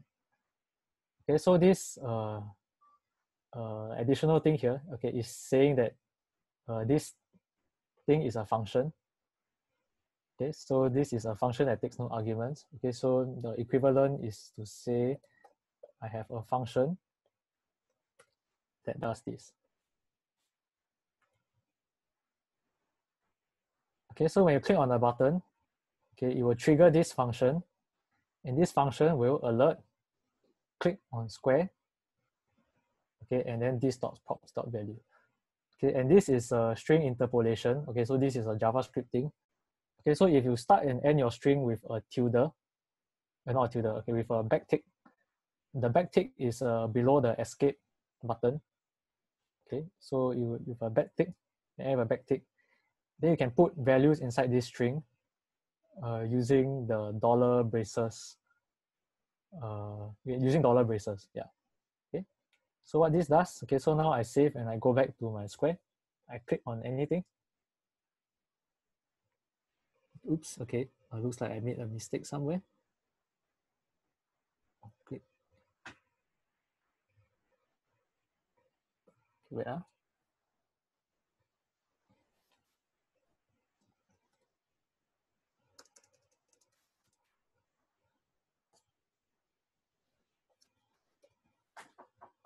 Ah, okay. So uh, if I click on like a button, I click on the square 4, it will tell me uh, click on square 4. Okay, so this is what the alert function does. Okay, so this is to add interactivity to the React component. Okay, so on click takes in the function and triggers that function when the button is clicked. Okay, so uh, everyone good? Uh, anyone got questions? Okay, so uh, if you are a bit lost, you can refer to my GitHub. Okay, so I'm at the two dash interactive now. Okay, so then I'll move on to the next part, okay, which is uh, state. Okay, so previously you saw that props, right, is data that is passed from the parent to the child component. Okay, so what if the component itself wants to store state? Okay, so we use something called the state object. Okay, so this refers to data that is stored in the component and it makes it stateful. Okay, and these values can be accessed using this dot state dot value. Okay, so uh, let me just show you in the code. Okay, so in order to use state, I will have to define a function called the constructor. Okay, and this constructor will take in props. Okay, it will call super props. Okay, and then uh, we can say this dot state equals to value okay now. Okay, so this might seem very confusing at first. Okay, so I'll just uh, break this down. Okay, so the constructor, uh, okay, so this is a function, okay, that is called whenever you initialize the square. Okay, so for example, when I call square here, okay, and when it's being created, you will call this constructor. So this constructor is a special function. Okay, and this constructor will take in the props. Okay, so the props refers to the values passed here. Okay, so for example, if uh, like I say square value equals to i. Okay, so the props will actually look like this. So props will look like value i. Okay, return an object that is like value i. Okay. So if you come from a Python background, okay, so this is an analogy to the init function, okay, for a class.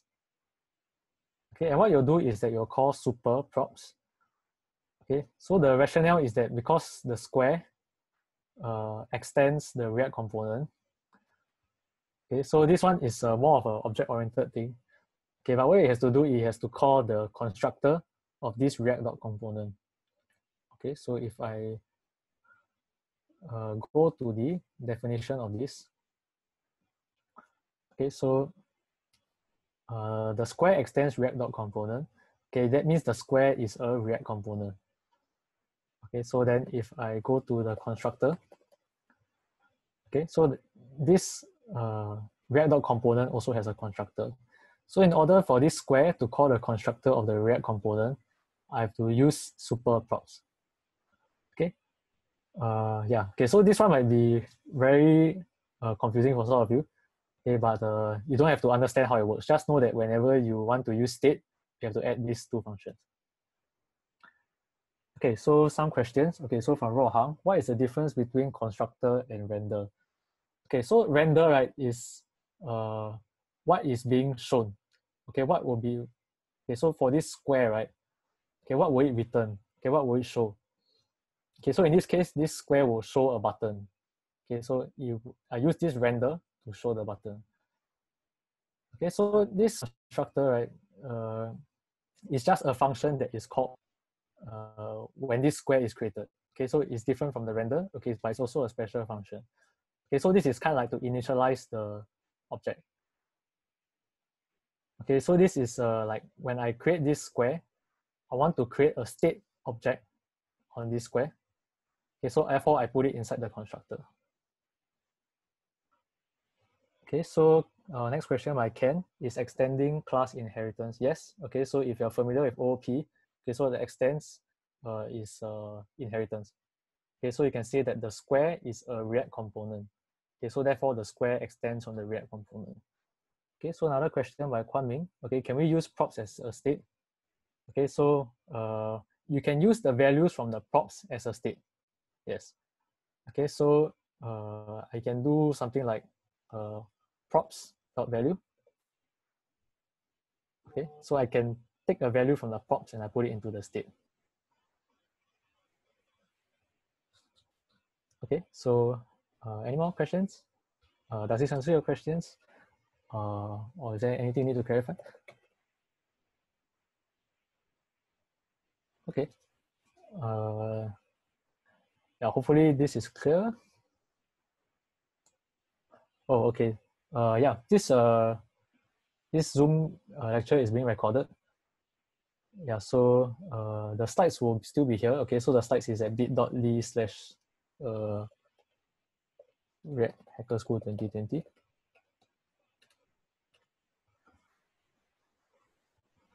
Okay, so you can find the slides here. The recording, I think we'll email email you all later. Okay, to where you can find the recording. Okay, so what's the difference between props and state? Okay, so both sounds like it has value. Okay, so uh, we go into the slides. Okay, so props refers to data that is passed from the parent to the child component.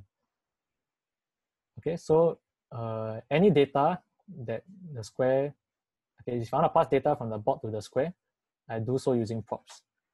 Okay, so if I want the square uh, to store the uh, like store the data, right? Then I use uh, state. Okay, uh, does that make sense?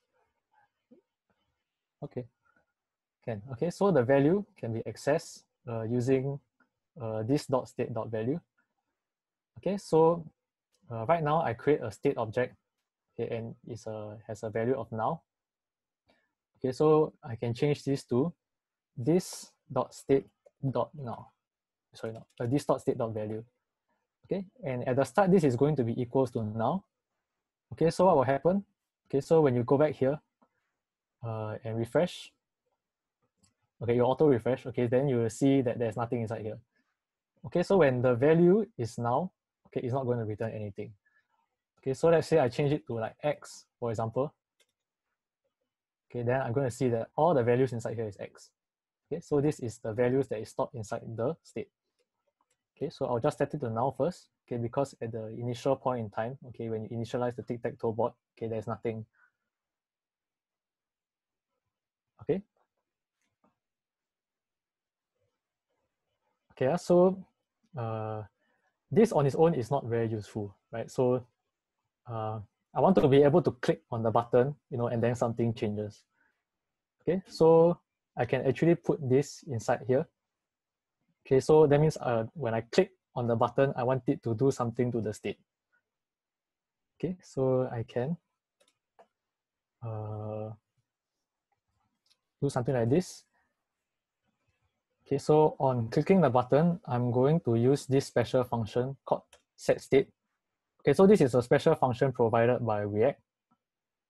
Okay, so you may be wondering why this set state function is not like defined here. Okay, it's actually defined inside the React dot component class. Okay, and because the square extends from this React dot component class, okay, so you're able to call the set state uh, function that belongs to this class. Okay, so if you're not, again, if you're not familiar with OOP, don't worry, just know that uh, you can call this set state function. Okay, and uh, I will change the value. Okay, so this set state, right, it takes in an object. Okay, so this object must be of the same uh, structure as the one above here. Okay, so now I'll change it to value of x. Okay, so uh, now if I go back and I click on any of these buttons or any of these squares, okay, it will turn into an X. Okay. And uh, just to recap how that happens, okay, so firstly, when you click on the button, you will trigger this on click. And this on click will change this this dot, this dot state object, okay, to this object. Okay. Uh, and then you will set the value of it to X. Okay, and then because this this dot state dot value changes, okay, so what is being shown here will also change. Okay, so uh, does anyone have any questions? I hope I haven't lost you yet.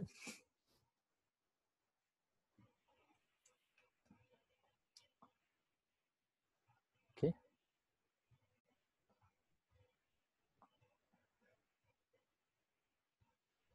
Okay, so now we have like kind of like a template, you know, for our application, uh, for our tic-tac-toe game.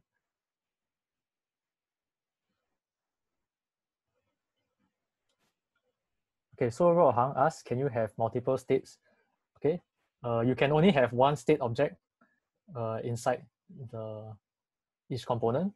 Okay, so if you want to keep track of multiple things, okay, you will have uh, like another field. Okay, so you can say value two is now. Okay, so you just uh, keep on adding on. Okay, so Owen has a question. Okay, so uh, why not just use this dot state dot value equals x?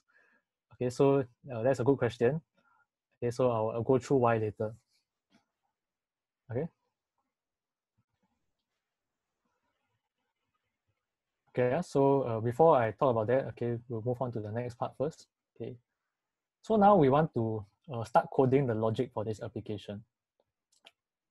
Okay, uh, because we want to know, you know, how will we know whether a game is won? Okay, so we need to keep need something right to keep track of the state of each square, right? So I need to keep track, uh, like if, for example, these three squares are x, right? Uh, then it's considered a win. So the question is, how should we do that? Okay, so should we have the board component, okay, this board component, retrieve the state of each square. Okay, so should we have this board component, ask the square for what's inside your this dot state. Okay, so actually the answer is no. Okay, because uh, this means that the state is being passed from the child component, which is a square, to the board, which is the parent component. Okay, so in React, the state should always be passed downwards. Okay, the state should always be passed from the parent to the child component. Okay, so how do we deal with this issue? Okay, so um, okay, so if the state of two child elements depend on each other, so in this case, right, the state of each square depends on each other, right? Because uh, we need to know the other person's state in order to know whether uh, like who won, you know. Okay, so if two child elements depend on each other in some way, the state should be moved to the parent element. Okay, so instead of uh, the state being stored in each square, I should have the state being stored inside the board. Okay, so instead of uh, keeping inside each square, I'll have like an array, an array of like nine uh, elements okay, and it will look something like this. You'll keep track of the state of the board. Okay, and this is known as lifting state up. Okay, so let's try to code out this solution. Okay, so um, you can better understand what I'm trying to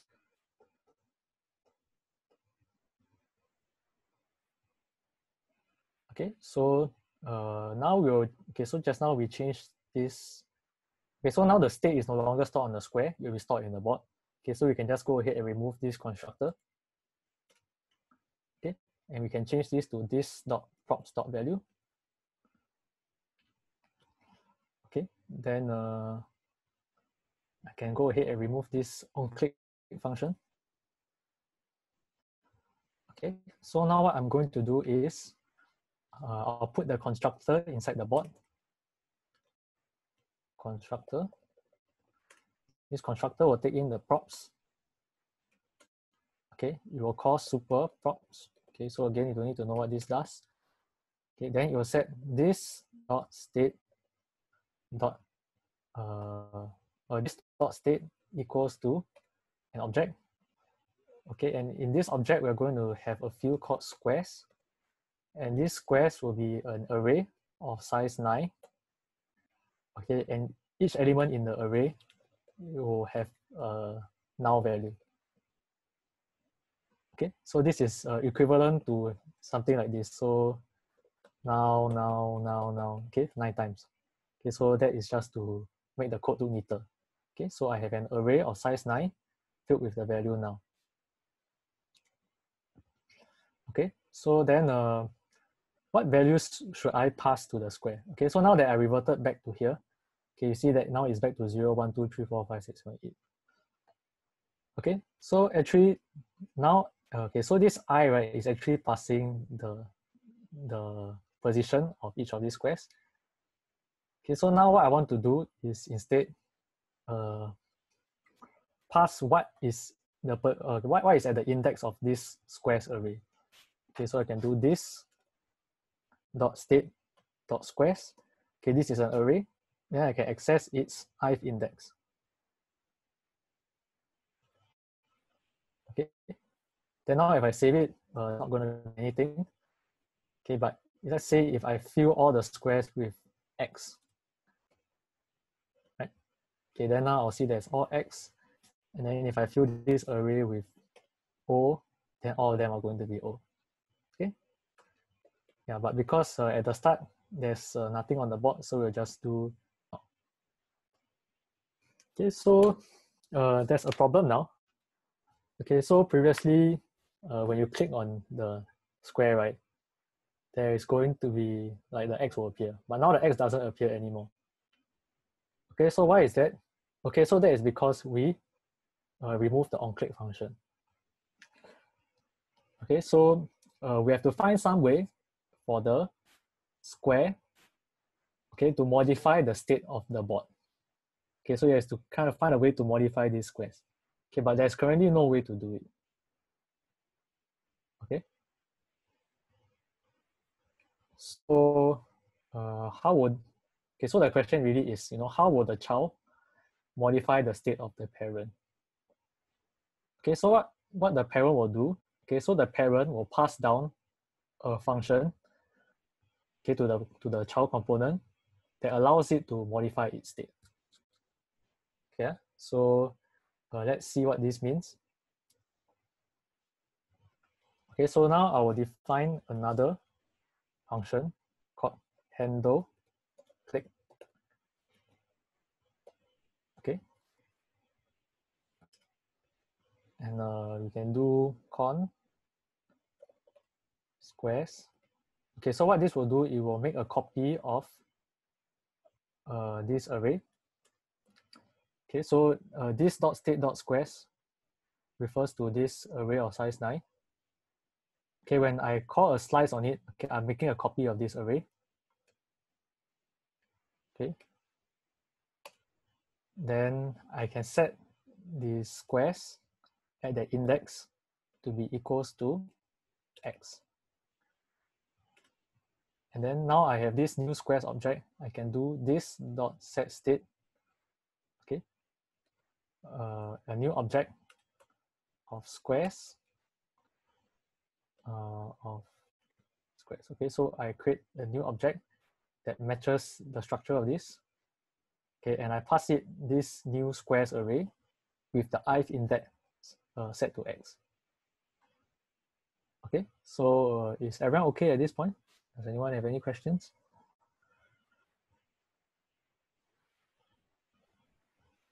Okay, so there must be a way for me to pass this handle click function to the square.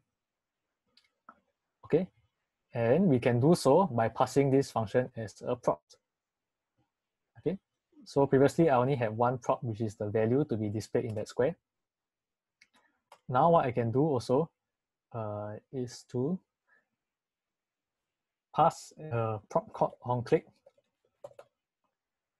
Okay, and this is going to be a function that calls this dot handle click of i.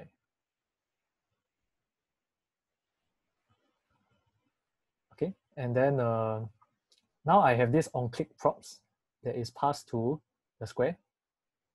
Okay, so I can actually uh, invoke it by doing on-click equals to this dot props. Okay, so uh, it will be a function that will call the this dot props dot on click. Okay, so this is probably one of the more difficult parts to uh, kind of understand.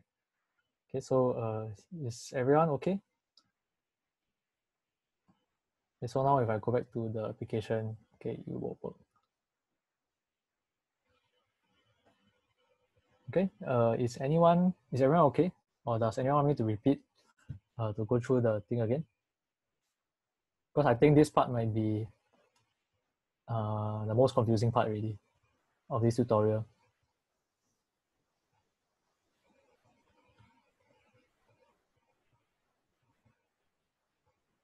Okay, uh, all good? Okay, uh, uh, let me go through again.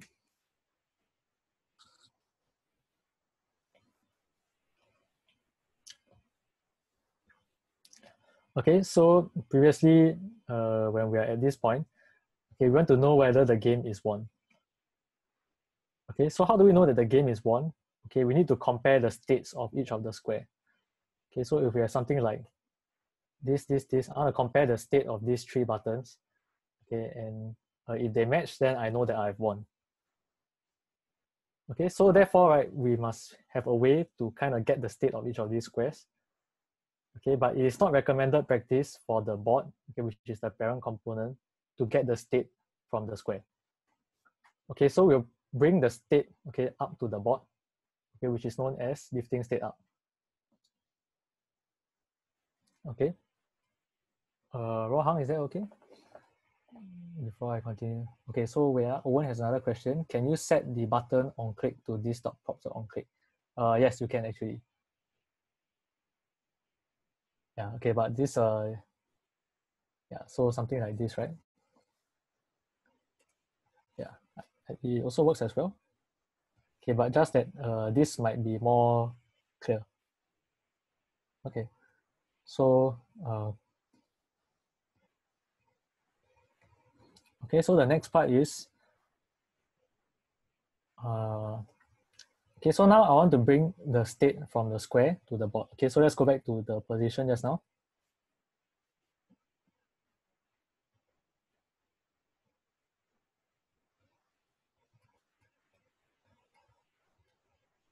Okay, so previously the state of the square contains the value.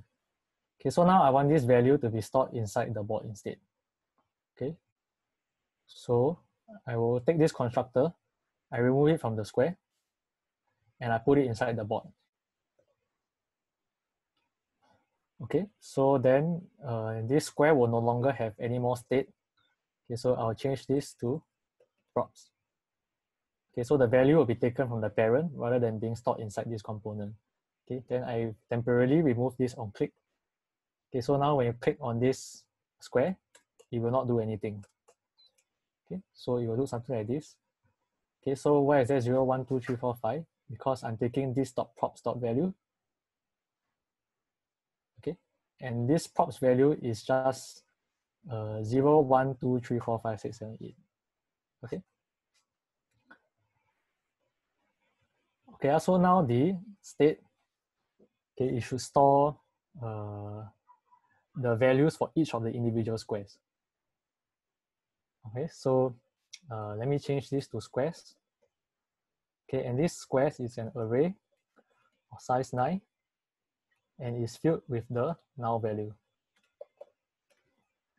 Okay, so instead of like each one having its own null value, okay, I now have an array of null values, okay, and each index of this array represents the state of each individual square. Okay, and how do I pass these values inside the squares? Onto the square itself. Okay, so I can do this dot squares, okay, this dot state dot squares at the index i.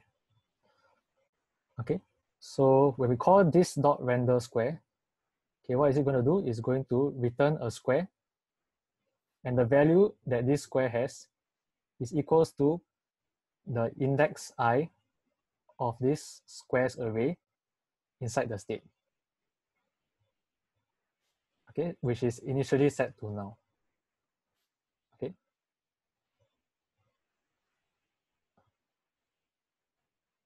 Okay, but the, the problem is previously, you know, we removed the on click uh, field here. Okay, so we need to find a way for this square. Okay, so when you click on this button, right, it has to modify the state object of the bot. Okay, so when I click here, it has to modify this array. Okay, so how can this be done? Okay, so we can define a new uh, function, okay, called uh, handle click. Okay, that takes in the index i.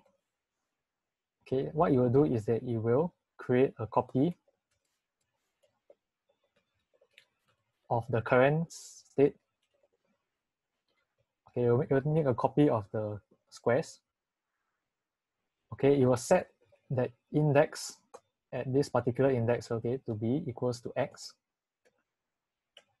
And then it will do a this dot set state. Okay, so this is to make changes to the state. Okay, so it will uh, have a key of type squares and the value will be these squares with the index i changed. Okay, so actually, uh, some of you might be asking, you know, why not I just do this dot state dot squares i is equals to x. Okay, instead of uh, like these three lines, you know, wouldn't this be a lot easier?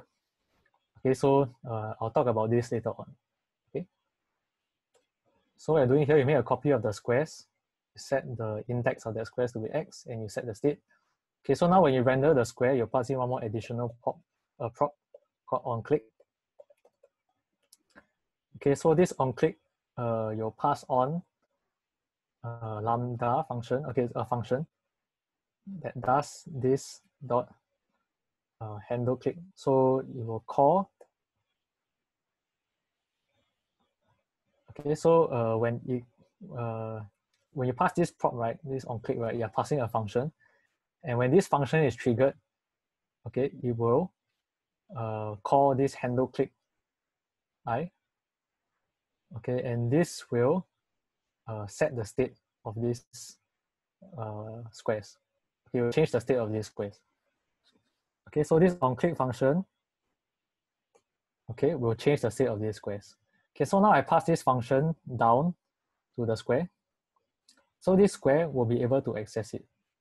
Okay, so on click equals to a function that will trigger this dot props dot on click.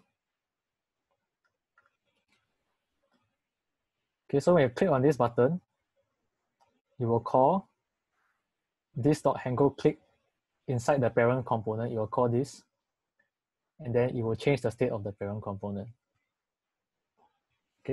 Yeah, so I think that was a bit lengthy explanation. Okay, but hope this makes it clearer for you. Uh, anyone has any more questions? Okay, so now when you click on any of the squares, okay, it will uh, set the state of this square. Okay, so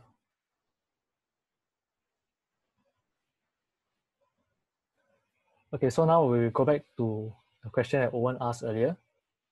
Okay, so why do we use this dot set state you know, instead of modifying this dot state directly? Okay, yeah, so why don't we just set this dot state dot value equals to x? Okay, so the rule of thumb, right, in React is that you should not, uh, actually you should not uh, modify this dot state directly okay, and create a copy of this dot state and pass it into this dot set state.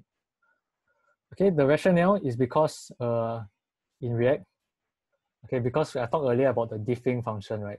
So the diffing function takes in, it, it compares between two objects.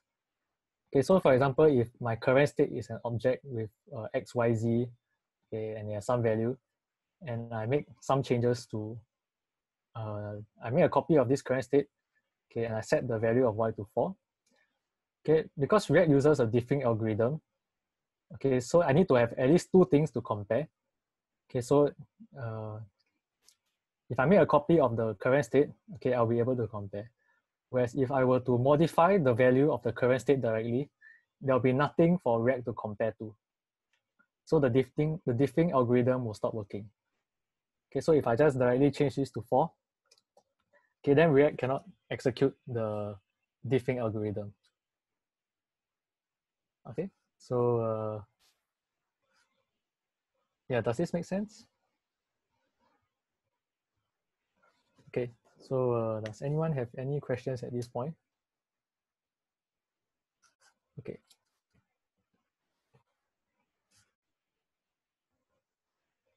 Okay, okay so uh, I think there's a lot of things to digest.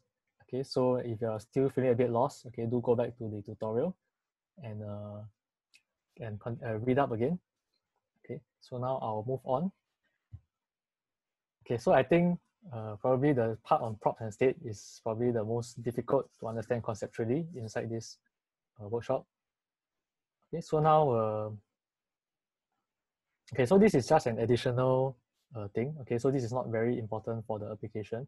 Okay, so this is just a React feature. Okay, so it's something called function components. Okay, so it says that if a component does not store any state, okay, we can use a JavaScript function instead of an entire class. Okay, so um, so previously we have this uh, class, okay, it's the square class.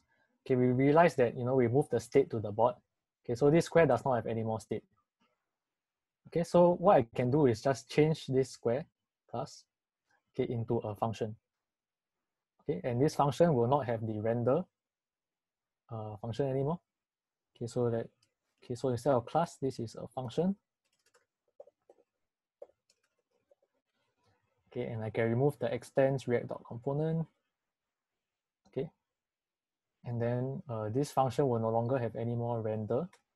Okay, so it will just look like this. It will return the HTML directly. Okay, and then uh, this function will take in the props. And uh, I can remove the this dot okay from all the this dot props. Okay, so then now if I save it, okay, so it will look the same.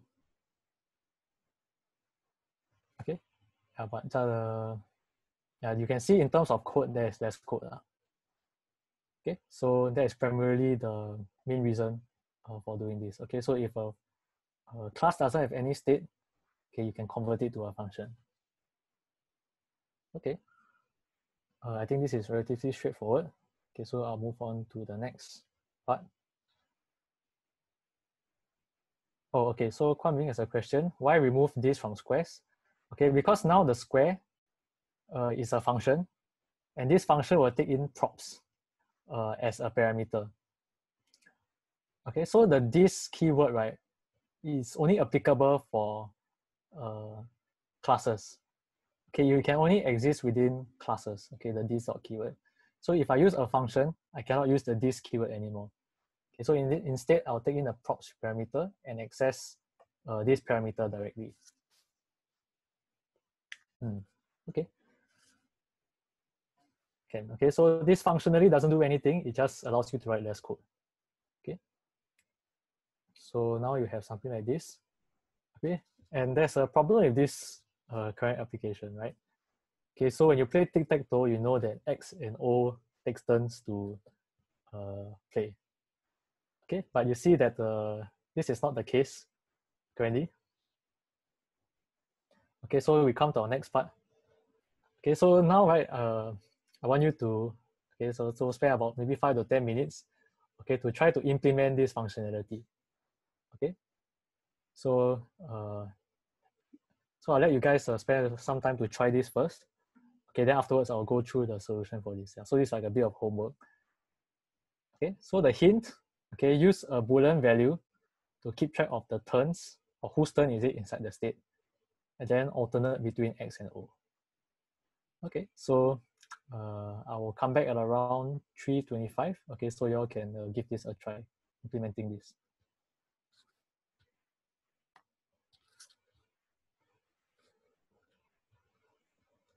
Okay, so in the meantime, if anyone has other questions, okay, you can feel free to ask.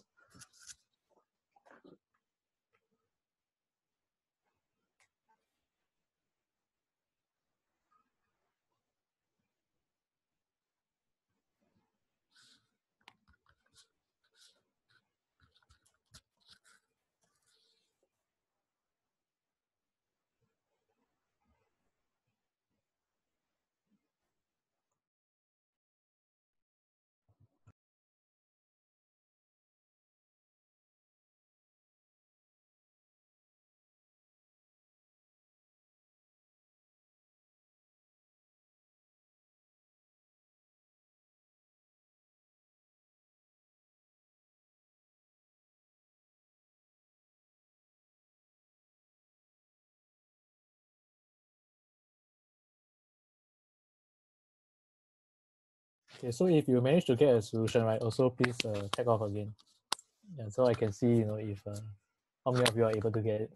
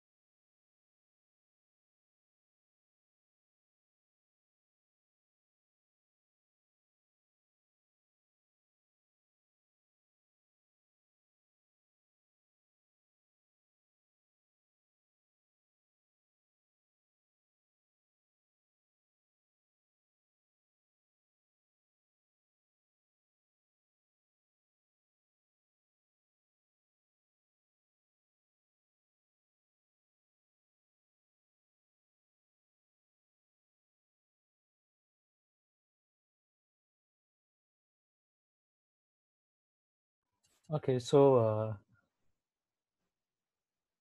okay, so what does dot slice do?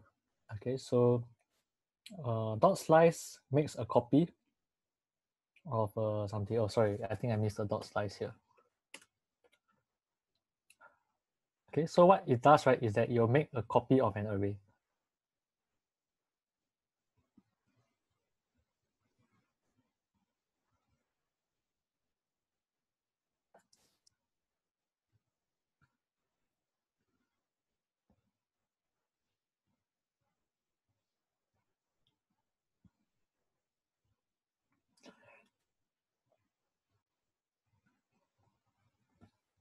Okay, so uh, anyone else uh, managed to complete it besides uh, Rohan and Owen? Okay, so guess not. Okay, so uh, I'll just go through the solution. Okay, so uh, what you can do, okay, is to keep track of a Boolean variable inside the state. Okay, so you can have something like x is next.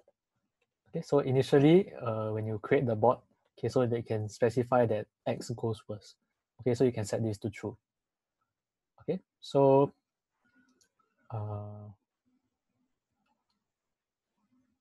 okay, so when the person clicks, right?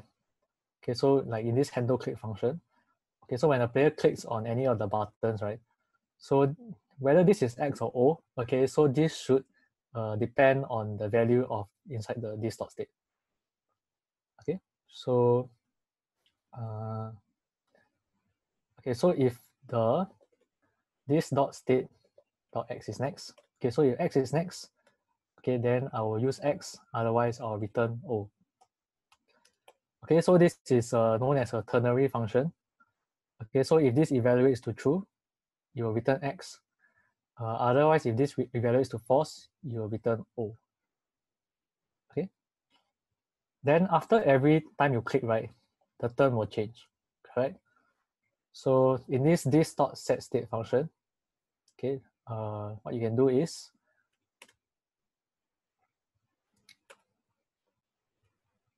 uh, set the x is next. Okay, because this uh, state must follow the same structure. X is next. Okay, it will set it to not this dot state dot x is next. Okay, so if x is next is true, then the next turn uh, x is next is false. And, and uh, likewise, if uh, it is false this turn, then the next turn will be true. Okay, so now let's save this uh, and we go back to our board. Okay, so let's try that now. So x, o, x, o, x. Okay, yeah, so this alternating turn uh, seems to be working. Okay, but now uh, you see that X has won again, okay, but we are still able to continue playing. Okay, so uh, we need to do something, you know, to kind of declare X as the winner. Okay, so this will be the next part of the solution. Okay, so uh, just to summarize what I did in this step, I added an additional Boolean variable inside the state. Okay, and uh, depending on what the value of this Boolean variable is, I will set the index of the squares to be X or O. And then after each turn, I will uh, flip this Boolean value. Okay, so uh, quite a minor change. Okay, but yeah. Uh, any questions for this? Okay, otherwise we can go to the last part for part one. Okay, so which is uh, declaring a winner.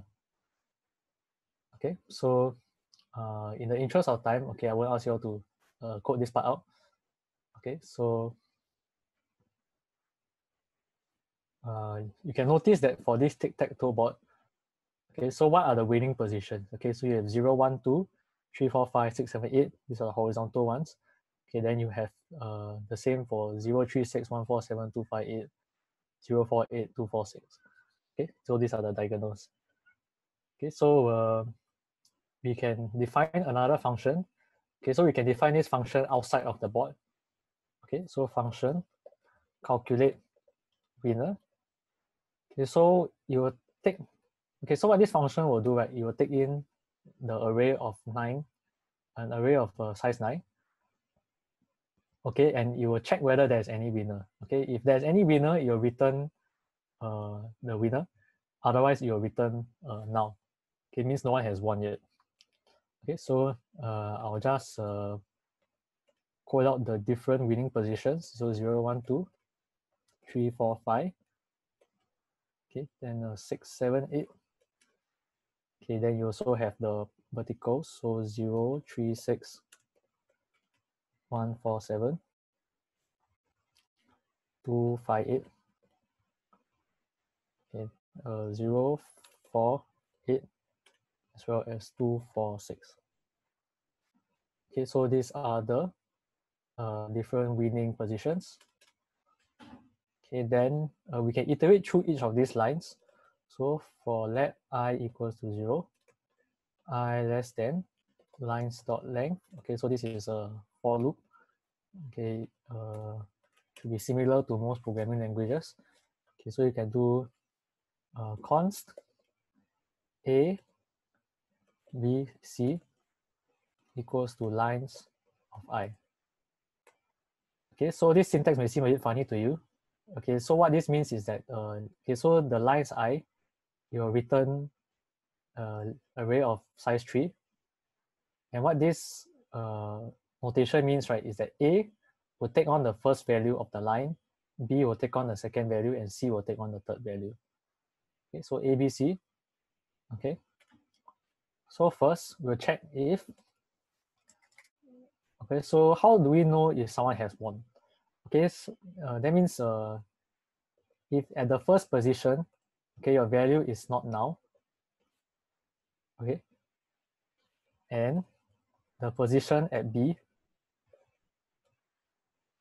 is equals to the position at A, and the position at C is equals to the position at A. Okay, so sorry, you should use a triple equals, okay, for uh, for JavaScript. Okay, so if the square at the first position is not null, okay, that means is this is equal to either x or o, and the square at position B is equals to the position at A, and the square at C is, uh, is equal to the position at A. Okay, then we know that there's a winner. Okay, so we'll just return squares of A.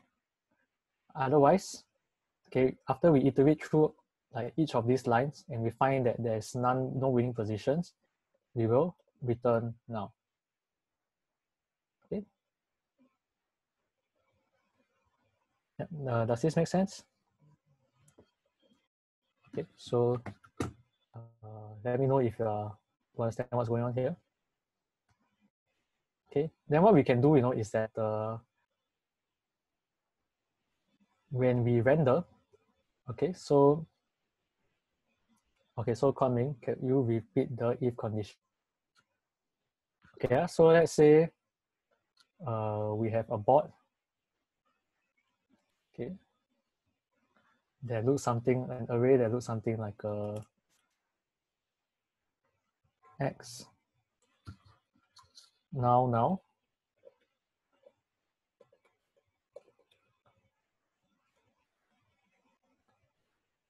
uh, null x. Now and then uh, null null x. Okay so we have an array that looks something like this. This is the current state. Okay so uh, how do we know that this is a winning position? Okay so uh, we'll iterate through each of these lines. Okay so uh, for each of these lines okay I get a, B, and C. Okay, so if the position at A uh, is, okay, sorry, yeah, uh, bit of interruption.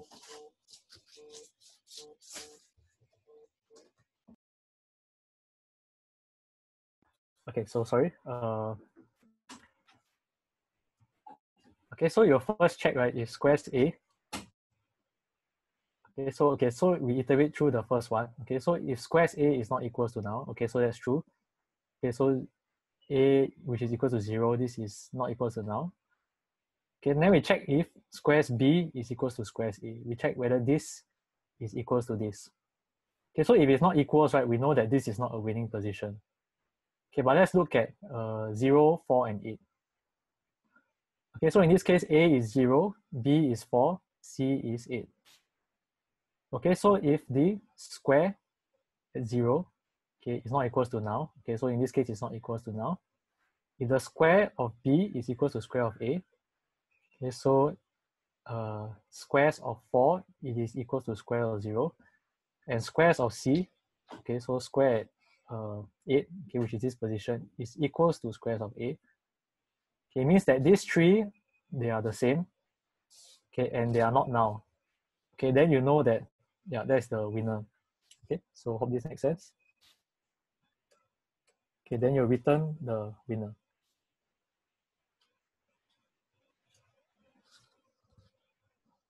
Okay, so we, okay, so now we have this function, right? We can use it. Okay. Uh, okay, so just now I actually forgot to make some changes here. Okay, so uh, actually when you click on one square, right, it should change the next player. lah. So actually what you can do here is uh, plus. Okay, then you can copy this line here. So, okay, so if x is next, then next is x. Okay, otherwise it's O. So then now you see that the values here will flip. Okay, so uh, okay, so now we want to change this status, right, to also account like in the case where someone wins. Okay, so what we can do, uh, we can do const winner equals to calculate winner this dot state dot squares. Okay, so this will calculate the winner, okay, from the squares. Okay, so then uh, we can do, instead of using a const status, we can use a let status. Okay, so uh, in JavaScript, when you use a const, it means that the variable is uh, immutable, means it cannot be changed. If you use a let, okay, then the status can be changed. Okay, so if the winner is not equals to null, okay, we will do something, otherwise uh, we'll do something else. Okay, so if the winner is not equals to null, okay, we can set the status to uh, winner plus the name of the winner. Okay, otherwise we can set the status to the next player.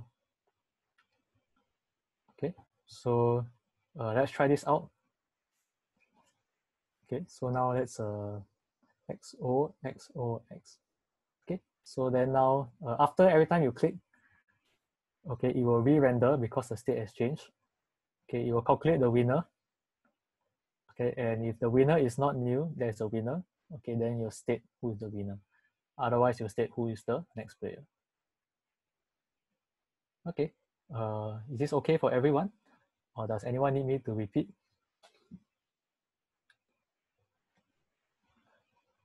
Okay.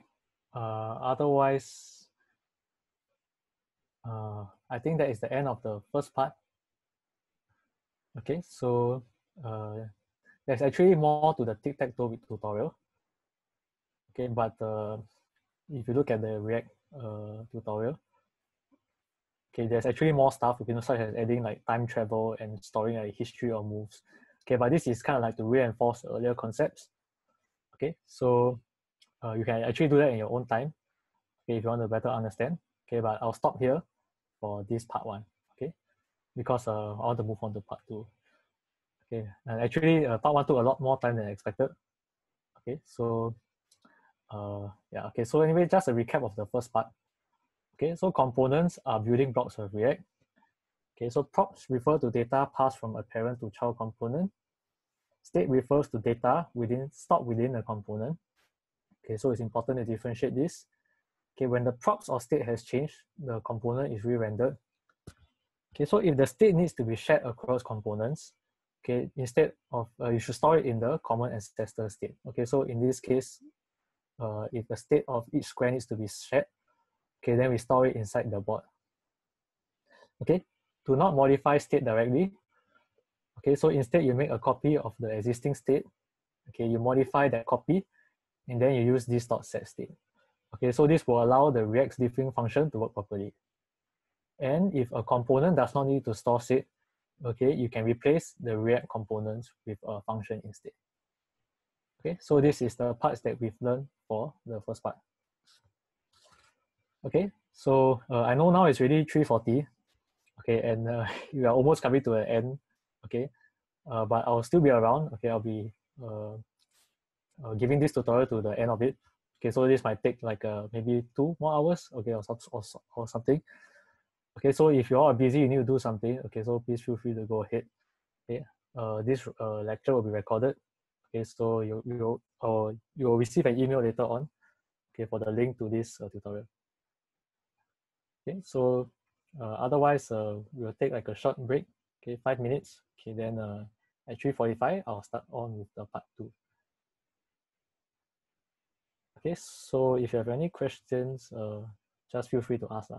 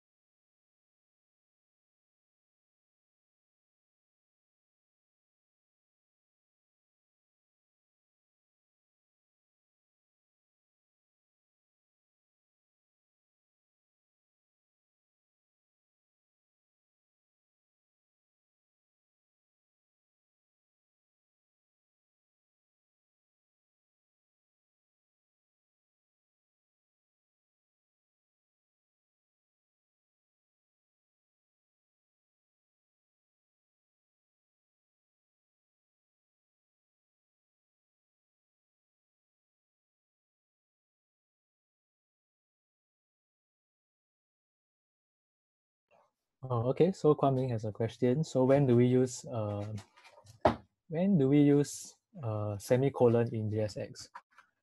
Okay, so uh, we don't use semicolon in JSX. Okay, but if you have like a JavaScript that you want to use inside JSX, okay, then uh, you can use semicolons. Okay, uh, let me try to give an example. Okay, so maybe instead of uh, using render square, calling this function, uh, I want to put it inside here. Okay, so what I can do is something like uh, I convert this into a function. Okay, and then I call that function, the value of zero. Okay, so this one will take in the value of i, and it will return this directly.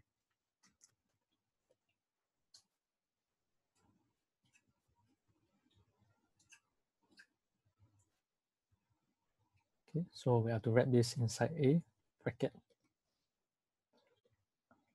Okay, so if we have something like this, okay, we use JavaScript uh, directly inside uh, the JSX. Okay, then there are some situations where you use semicolon. However, I think this doesn't happen very often.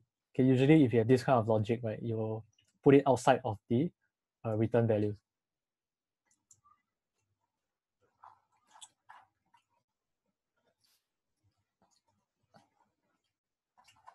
Okay, so uh, right, okay, so let's move on to the second part of the uh, tutorial. Okay, so now what we're going to do, okay, so now we have this tic-tac-toe.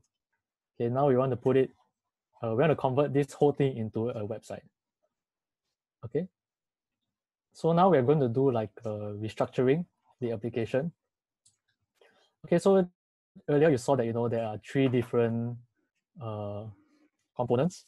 Right? So you have the square, the board, and the game. Okay, so normally in most React application, it's good practice to put all of these inside separate files. Okay, so what you can do, okay, under the source folder, you can create a folder called games. Okay, actually the instructions are here. Lah. Okay, so you can just create these folders and the following files. Okay, so you can create uh, game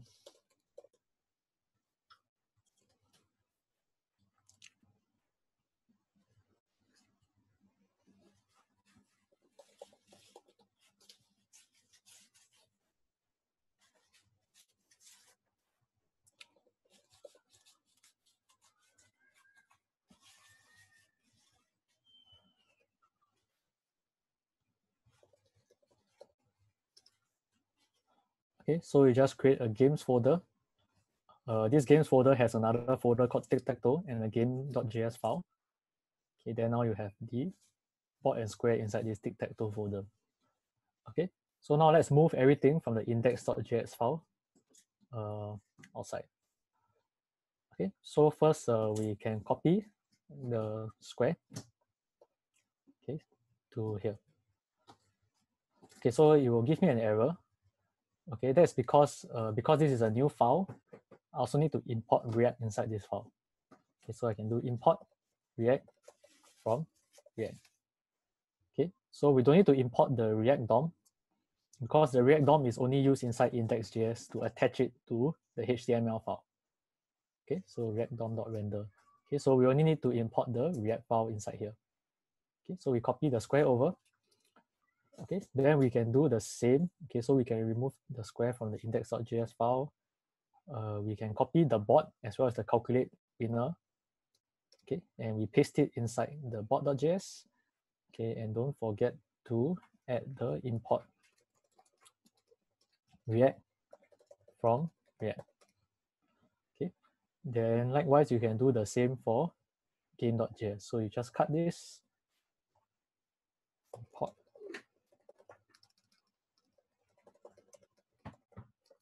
and then paste it. Okay, so you'll notice that there are some errors. Okay, uh, so you see that oh, there's some red underlining under each of these, and it says failed to compile. Okay, that's because now that you move each of these components into their own files, okay, so uh, they no longer have access to each other. So in order to do that, okay, so uh, we have to export each of these components, okay, from their files. You know, export it and then this component should be imported from the other files. Okay, so this is what I mean. Okay, so at the bottom of this uh, square.js, okay, we can do a export default square. Okay, so this basically exports the square. Okay, then if I go to the board, what I can do is import, import the square. Okay, import square from dot slash square. Okay, because the board and the square are in the same directory, so I use a dot slash. Okay, so dot refers to the current directory. Okay, so I import the square from the same directory. Okay, and you see that uh, this square is no longer red underline. Okay, so if I remove it, okay, it will be red underline. Okay, otherwise, then once I import it, it will no longer be there. Okay, so now this board component is used inside the game. Right, so what we can do is export uh, default board. Okay, so I'm going to export the board. Okay, then uh, this board is used inside the game. Okay, so I can import it here. So import board from dot slash game or tic-tac-toe slash board. Okay, it's because the games is outside the tic-tac-toe directory, so I have to add the slash tic-tac-toe here. Okay, and you can add an export uh, default uh, game.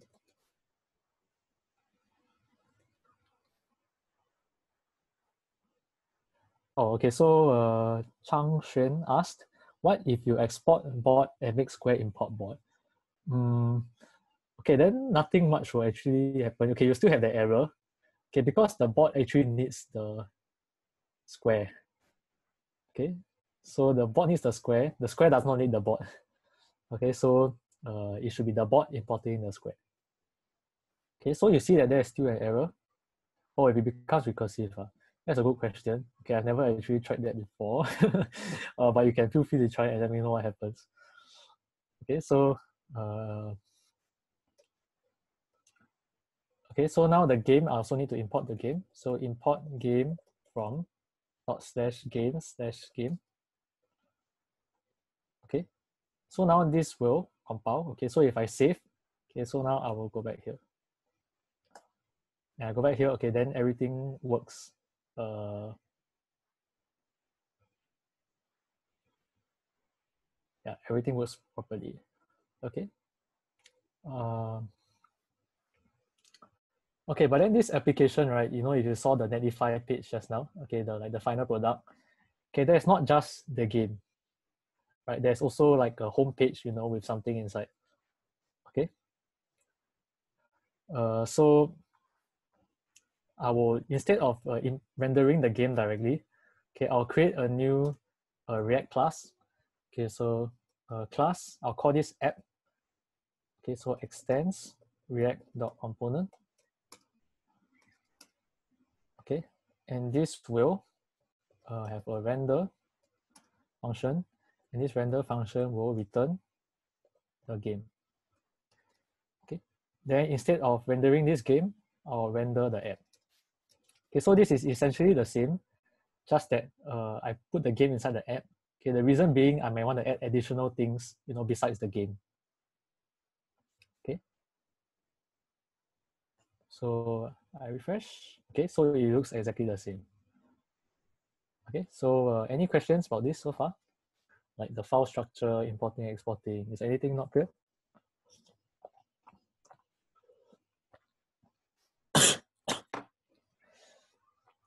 Okay, so uh, if all's good, Okay, uh, what we want to do now is to add a home page. Okay, so uh, okay, so now we can create a new folder called home, and we add a new file called home.js. Okay, so this is another React component. Okay, so uh, I guess what we can do is uh, just create a normal React component, import React from React. Okay, so uh, import, okay, sorry, the class uh, home extends react.component. okay, then the render function, you will just return a div element uh, that says, uh, welcome to uh, your, okay, WeHans homepage. Okay, so this can be your name. Okay, so in this case, I'll use my name. Okay, so welcome to WeHans homepage. Okay, so uh, this component is not being used anywhere. So for it to be usable, I have to add an export. Okay, so export default home. Okay. Now I exported it, okay, but it's not being used anywhere. Okay, so let's say uh, I want to put it in the app. Okay, so what I can do is uh, import home from dot slash home slash home. Okay, so I import this component and then I put it here. Okay. Okay, so now this is giving me an error. Okay, so what is the error? Okay, so JSX expressions must have one parent element. Okay, so this is a React thing. Okay, so you cannot return two objects. Okay, in a React uh, render function. Okay, you need to return one. Okay, so what you can do is actually just wrap uh, these two elements inside an empty braces like this. Okay, so now it just becomes returning one element. Okay, and this one element will have two children, the home and the game. Okay, so now if I were to go back to my application, well, I'll see welcome to WeHans homepage. Okay, and then we have our tic-tac-toe game.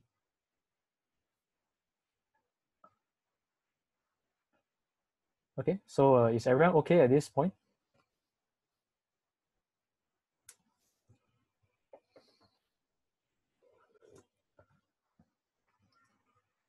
Can you pass variables between components? Mm, meaning, okay, so you can pass variables from the parent to the child component, right? So are you asking whether you can pass like between sibling components or something? Okay, so uh, okay, so if you go back to the earlier slides, right?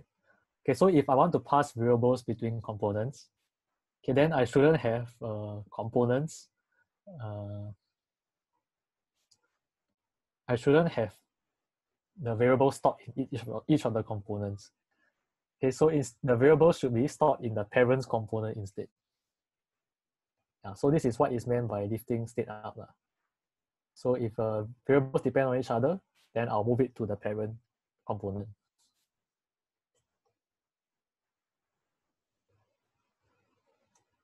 Okay, uh, does that answer your question? Okay, so uh, if you are interested, okay, so uh, sometimes the problem is right. Uh, okay, so so like this board and child, a uh, board and square, right? It's like uh, one layer, lah. Right. So the board, so so there's like the immediate parent. Okay, but sometimes you need to pass variables, right? Like uh, up many many layers. Okay, because you need to share the variables between uh, many layers of common ancestors. Uh, so what do I mean? Okay, so let's say like like you see this picture right, the top left. Okay, so let's say the leftmost component wants to pass a variable to the rightmost component.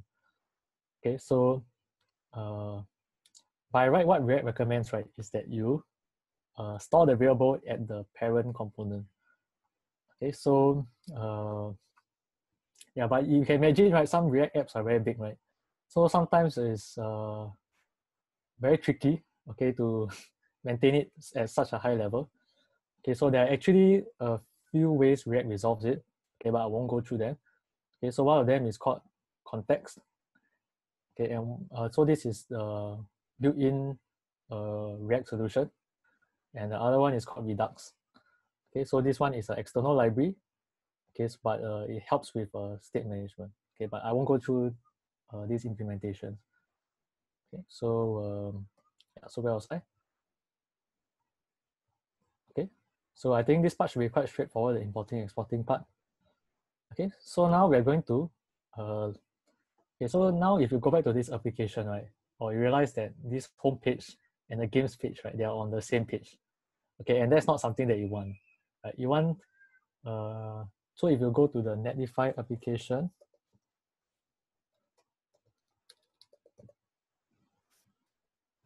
okay, on the main page itself is my home page. Then when I click on games, it goes to this slash games URL, and that's where my tic-tac-toe is.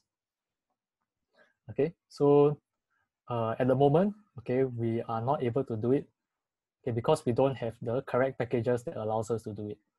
Okay, so uh, now we are going to learn how to add a package to React. Okay, so we're going to add this library React Router. Okay, so what this React Router will allow us to do, okay, is uh, if we go to the slash games path, okay, on the URL, you should display the game.js component. And if I don't, if I just uh, use the empty URL, okay, so if I just uh, go like this, okay, it's going to bring me to the home page. Okay. So in general, if you want to look for libraries uh, that you can add to uh, React, okay, you can go to this website, npmjs.com. Okay. And this is where you can find a lot of libraries. Okay, so in this case, we're just going to search for React Router. Okay. Uh, okay, so there are a few of them. Okay, so we are going to click on the second one, React Router DOM. Okay, so it will tell us how to install it. Okay, in this case, uh, it uses npm to install.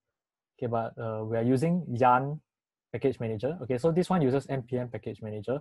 We're using Yarn package manager to install. Okay, so what we can do, uh, we just copy the name of the library, okay, React Router DOM. Okay, and we go to our terminal. Okay. Uh, you can close the current one, Control C, and you can do yarn add the name of the library. Okay. So what this does is that you install this React Router DOM library uh, inside the application. Okay, so yarn add React Router DOM. Okay, so you added your first library into the thing. Okay, so React Router DOM, uh, you can use three of the React Router DOM components, okay, to uh, to achieve what uh, this functionality. Okay, so first, uh, now that we have installed, okay, uh, React Router DOM, okay, this will appear in our package.json file. Remember I talked about it earlier. Okay, so if you go to the package.json, there'll be an additional line here called React Router DOM. Okay, because now you have an additional dependency. Okay. Uh, so now if you go here and you can do something like import, okay, uh, curly braces, uh, browser, router, switch, and route from React router DOM. Okay, so I can export these three components okay, that are provided by React router DOM.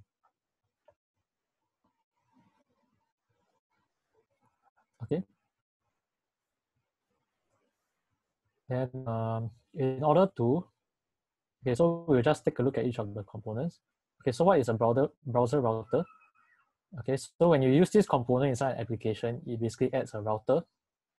And for every application, there should only be one router. Okay, so routers will allow us to achieve this functionality. Okay, and the route, okay, this refers to like the individual paths, you know, so you can specify which components to display for each path. And then you also have a switch. Okay, so the switch works like a switch statement in most languages. Okay, so like Python switch statement, C switch statement. Okay, but the switch statement is on the routes. Okay, so you can think of it as one very long if else statement. Okay, so uh, the first thing we should add is the browser router. Okay, so browser router, and we close off the browser router. Okay, so we replace that uh, empty braces with a browser router. Okay, and then within this browser router, we'll add a switch statement. Okay, and in this switch statement, we will have uh, two routes, right? Okay, so this is route one, and this is route two. Okay, so in the first route, I want to uh, display the home page. And in the second route, I want to display the game. Okay, so I have a browser router. Inside this browser router, I have a switch statement, and this switch statement has two routes. Okay, now I want to specify uh, what path okay, goes to here. Okay, so I can do route exact path equals to uh, slash. Okay, so uh, if you just do route path equals to this, right? Uh, this is kind of like a, it will match all. Okay, so anything that starts with slash, okay, it will return the home component. Okay, so but if I add exact, right, this means that only uh, if you access this, you'll be able to access the home component. Uh, then we can do for the routes. Okay, so path equal to slash games. Okay, so in this case, you don't really need an exact path okay, because there's nothing that comes after this route. Okay, so uh, now if you were to go back to the React application, okay, uh, I have to yarn start again.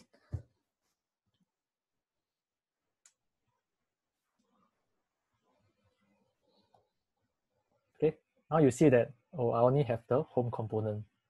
Then now if I go to slash games, I will see the game component. Okay, why is the slash after home and game, but before things like route and browser router? Why is the slash after home and game?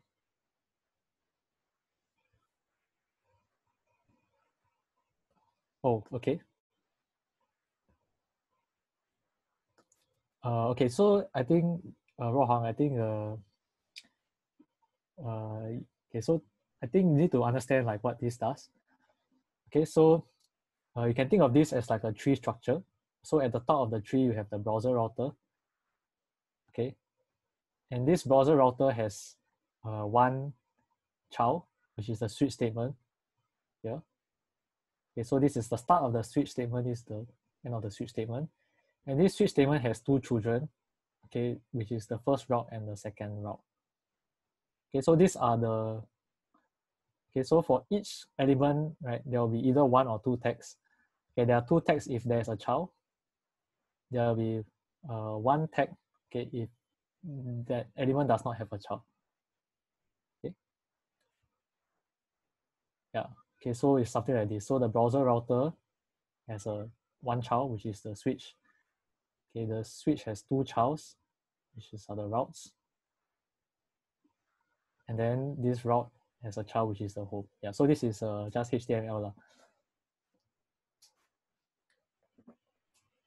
Yeah, correct. Because the home has no children, okay, you don't need to uh, put it into two tags. Yeah. Okay, so this works like a switch statement. Okay, so you will try to evaluate this first route first. Okay, so if it matches this route, you will display it. Okay, otherwise you'll move on to the next route. Okay, so now if we go to slash games, you actually go to here, but let's see what happens if we remove this exact path.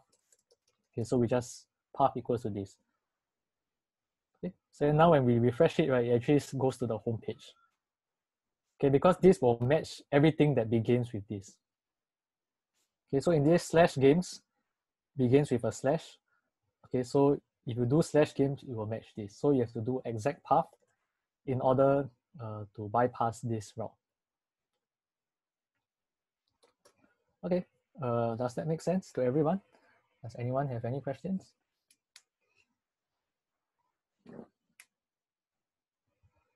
Okay, so I hope this uh, is intuitive and makes sense to you. Okay, so uh, as you can imagine, you know, if you want to have more stuff, uh, then you can uh, add more routes. Now. Okay, so uh, however, this is a bit inconvenient, right? So if you see, uh, if I want to go to a path, I have to manually type it in. Okay, and when someone access my website for the first time, uh, I will not know uh, that there is a slash games route, right? Okay, so we're going to add something called a navbar. Okay, so if you go to the Netlify application, okay, so I have a nav bar on the top here, okay, which allows me to navigate to different places. Okay, so um, okay, so we are going to use another library for this. Okay, so this library is called uh, Material UI. Okay, so Material UI okay, is a library that provides React components for common use cases. Okay, so in this case, the navbar is something that is very commonly used. Okay, so this Material UI library will provide it. Okay, and it's based on material design. Okay, so this is a style used by Google for most of their interfaces.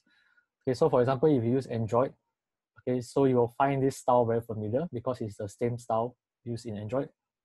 Okay, so uh, let's just uh, Okay, so if you want to look at the list of the components that Material UI has, okay, you go to material-ui.com. Okay, so in this case, you can search like the different components that they have. Okay, so uh, I'm going to look at the app bar now. Okay, so uh, you can see on the left menu, there's a lot of different components that you can use. Okay, so in one of them, uh, I just click on app bar. Okay, so it just shows me like the list of uh, app bars that are available. Okay, so if you scroll down, okay, you can see, okay, then you can see for each app bar, right, if you want to see how to implement it, right, you can click on uh, show the source. Okay, then it will show you, you know, how this is being implemented, how this React component is being implemented. Okay, so there's a lot of things here, okay, but you can just copy and edit to your application. Okay, so uh, in our case, we're just going to stick with the first one, okay, the simple app bar. And this is what we'll use in our application. Okay. Uh, however, this Material UI, again, is not a default package. Okay, it's something that you have to install. Okay, so if you go to your terminal, you can run these two commands, yarn add material UI slash core. Okay, so yarn add material UI slash core, and you can add yarn add material UI slash icons. Okay, so this will provide you some icons uh, to use in your application.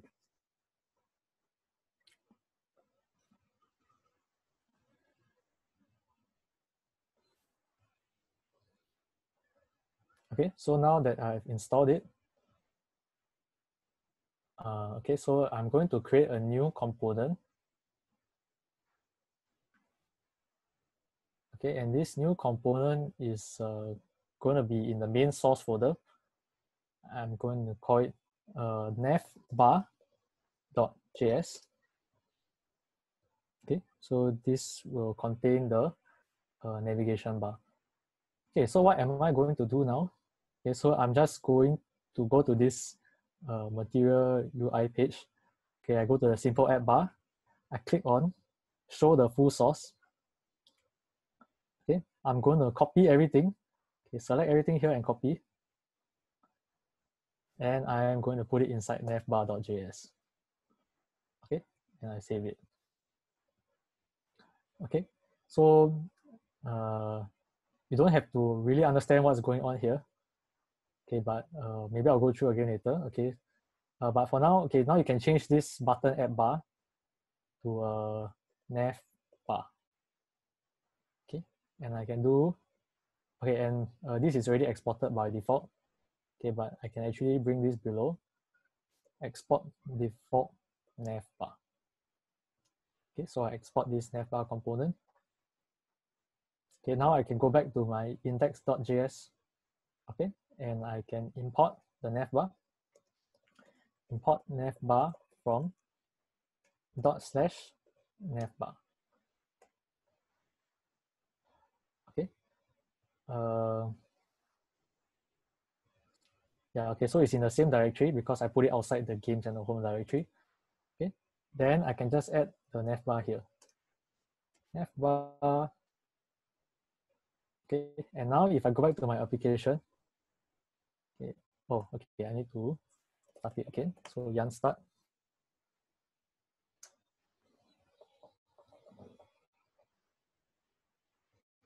Okay, so now I can see that my bar is there.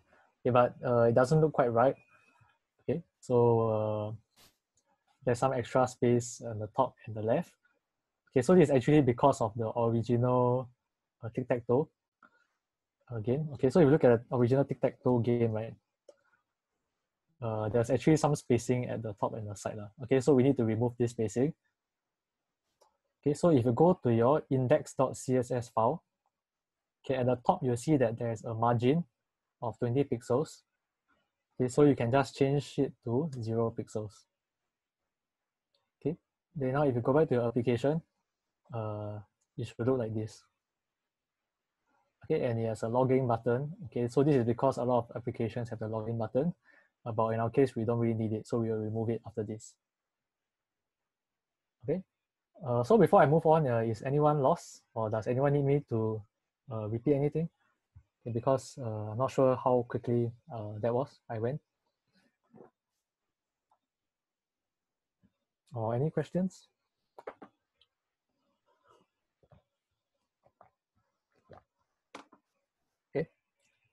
Uh, okay, so what we're going to do now is we're going to change this login button, okay, into two separate buttons, okay, and the home and the game. Okay, so we go back to our navbar.js, okay, and we look for the culprit. Okay, so the culprit is here. Okay, so now uh, we see that this login is wrapped inside a button. Okay, so we can just make a copy of this button, uh, and we can make two of it Okay, so now we have login, login. So we just change the text inside. Okay. Home and game. Okay, so now we have a homes and a games. Okay, but when we click on it, it still does nothing. Okay, we want it to allow us to navigate, right? Okay, so uh, what we can do is we can import uh, the component called link from uh, React router DOM. Okay, so what this link allows us to do, okay, is very uh, intuitive. Okay, so we can wrap this button inside a link.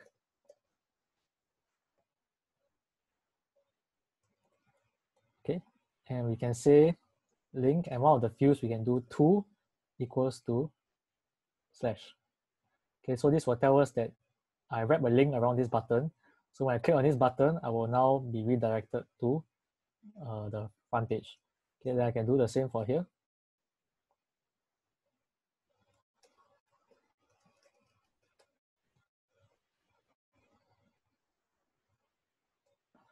Okay, so then instead of slash, I can do slash gives. Okay, so now uh, you see that we have a link, okay, but it's a bit blue. Okay, but when you click on it, it actually works.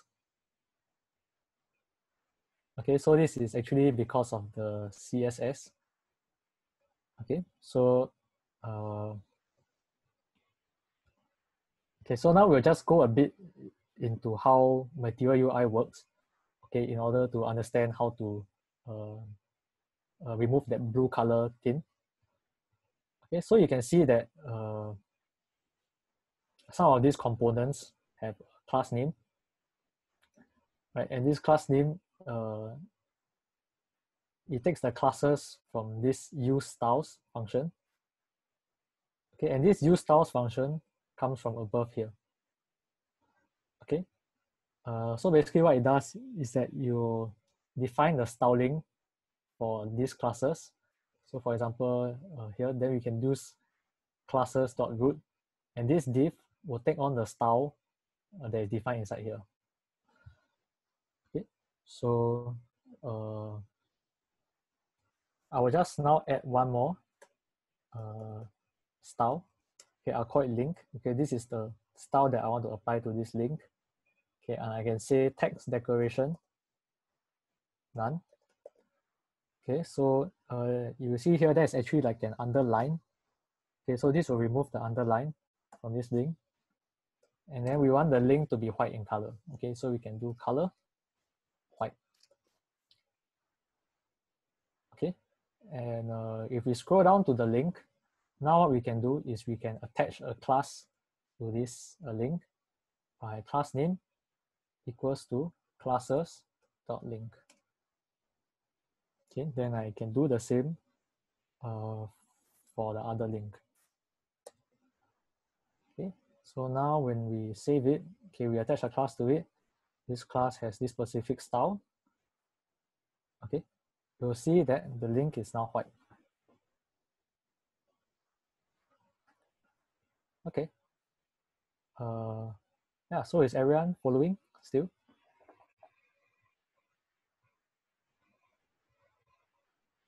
Okay, uh, so please stop me, you know, if uh, it's too fast for you. Okay. Okay, so the next thing that we realize, right, is that, you know, uh, it's not very nice that our text is uh, at the side, at the top left. Uh, right, so maybe what we can do, you know, we can try to centralize uh, each of these. Okay, so you can use uh, CSS to do it. Okay, so uh, okay, so we go to our uh, games first. Okay, let's uh, try to set um, move our game to the center. Okay, so we notice that this div has a class name of game. Okay, and where can we apply styles to this? Okay, we can do so in the index.css file. Okay, so uh, yeah, the current styling is done by index.css. Okay, how does index.css uh, reach here? Okay, it's because at the base component, the index.js, you actually imported the index.css. Okay, so this CSS will apply to all the components inside here and their child components. Okay, so you also apply to game. Okay. So in this uh, index.css, I can scroll down and I can find this dot game. Okay, in this dot game, uh, you can do something like uh, display flex. Okay, so uh, here's a great tip for you guys. Okay, if you want to know how to position your elements, you can use this website called uh, build flexbox.buildwithreact.com. Okay, I'll paste it in the chat. Okay, and with this, right, uh, you can learn how to center your elements. Okay, so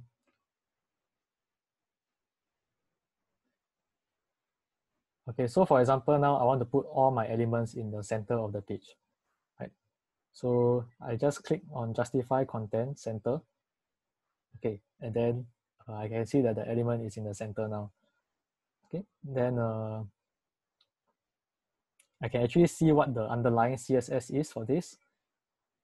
Okay, so it says display flex justify content center.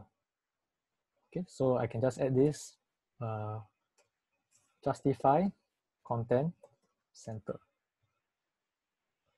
Okay, so I must add a display flex. Okay, but it's already inside the index.css file. Then the flex direction is a row. Okay, so there's the default value. Okay, then I can justify the content to the center. And now if we go back to our application, okay, you'll see that this uh, tic-tac-toe is in the center. Okay, and now we want to move it like a bit away from this, uh, from the nav bar. Okay, it's too close to the nav bar. So we can add another line. Okay, so margin top 50 pixels. Okay, so this will move the tic-tac-toe grid uh, 50 pixels below. Okay, and I think it's also nice if our tic-tac-toe board can be a bit bigger. Okay, so we can scroll up. We look for square. Okay, so we're gonna increase the size of each square. Okay, so currently the height and the width are both 34 pixels. Okay, so I'm just gonna change this to 50 pixels each. Okay, and I see now that the square is bigger.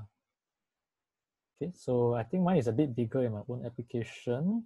Okay, I think I put it at like 80 pixels or something. So let me try that. 80 pixels. Ah, okay. So you can change the height and width of each square to be 80 pixels.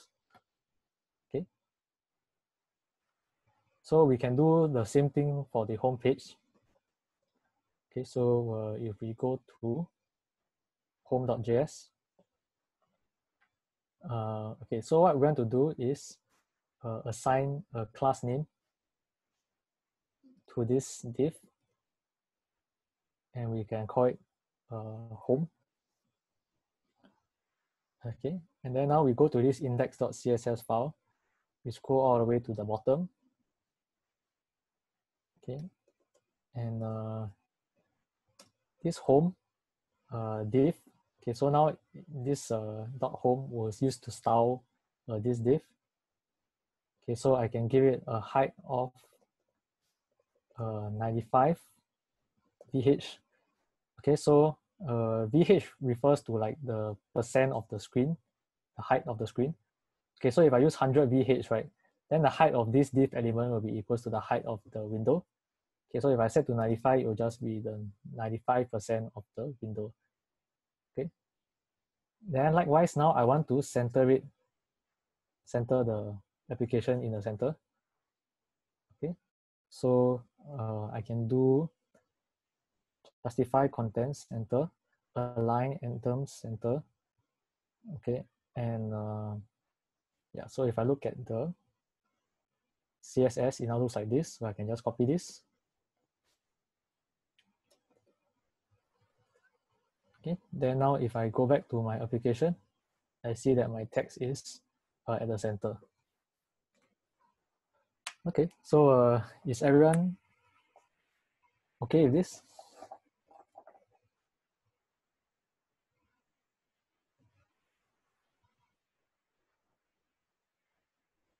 Okay, uh, looks like don't have any questions. Okay, so we'll move on. How did I add the navbar to index.js? Oh, okay. So if I go back to index.js, uh, you import navbar from dot slash navbar. And then you put it just above the switch.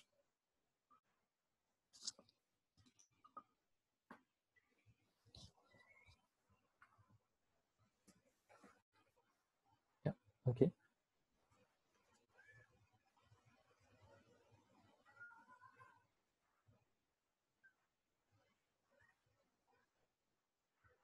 Okay, so now uh, I think this text is a bit small.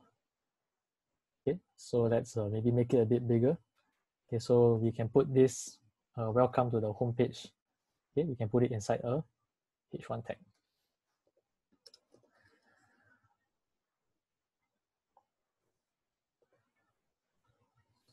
Okay, then you see now it's a lot bigger. Okay, so uh, I think we're almost done, okay, with the application. Okay, so if you compare it to uh, this, the one on Netlify, okay, it looks almost the same. Okay, so uh, the only thing missing is the pictures. Okay, and that's actually the last part of uh, today's tutorial. We'll learn how to uh, import pictures into React. Okay, so just a minor thing that I missed. Okay, so I forgot to change the name here, news. Okay, so you can go back to uh, the navbar component. Okay, look for where the news is. You can change it to whatever you want. Okay, so in this case, I'll just change it to uh, Wihan's website.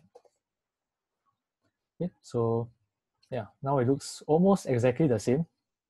Okay, just that I'm missing a picture. Okay, so uh, is everyone following along? Does anyone need help? Okay, so uh, we are almost coming to the end. Okay, so if you're a bit lost, okay, you can go back to my repo. Okay, there's a number of changes that I made. Uh, so if you missed out something, you can refer from there. Okay, so let me find the branch.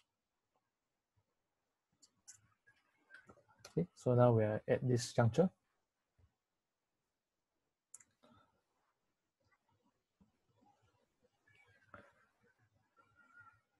Okay, so the last part, uh, adding images.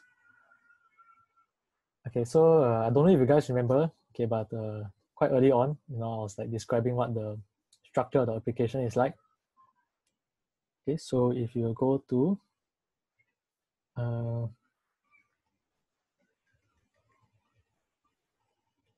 okay, so files in the node application. Okay, so then we can see oh, the public folder contains files that users can access as URL. Okay, so uh, when you want to use images in React, okay, you're going to put the images inside the uh, public folder. Okay. So now in this public folder, I'll create a new folder called images. Okay, and I can just uh, go to Google, uh, look for some image that I want to put. Okay, so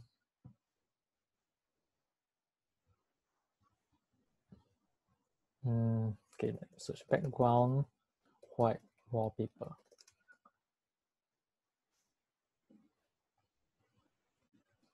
Okay, ah, okay, now I found the wallpaper that I was using.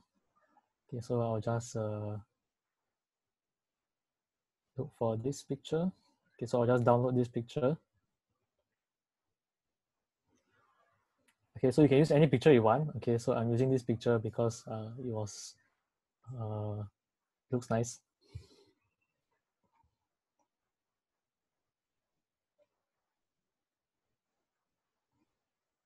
Okay, then uh, after I downloaded the picture, I'll just put it inside these uh, images. Okay, so it's taking a while to download. Uh, but actually it's also inside my repository. So I'll just download it from there. So if I go to 12 images, I go to public images. Okay, so I can also download it from here.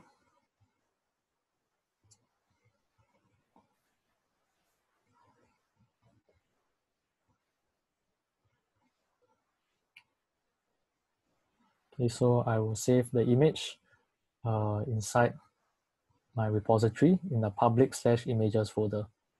So public images, okay, uh, and I'll save it as like a background.jpg. Okay, so now uh, this picture is available in my uh, repository. Okay, so now uh, I want to import this picture into my application. Okay, so I'll just go to my home page. Uh, okay, so then I will add in a image. Okay, so uh, I'll add in an image tag.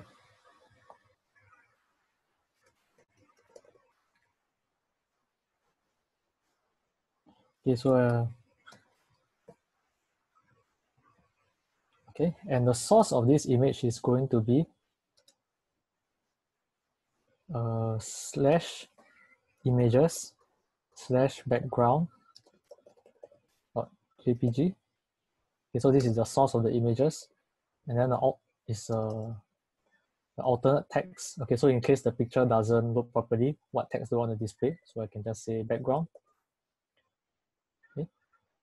Then when I save it and I go back to my application, so now it looks like this. And my text is on the right. Okay, so uh, I guess this is an issue with the Flexbox. Okay, so I go back to build with Flexbox.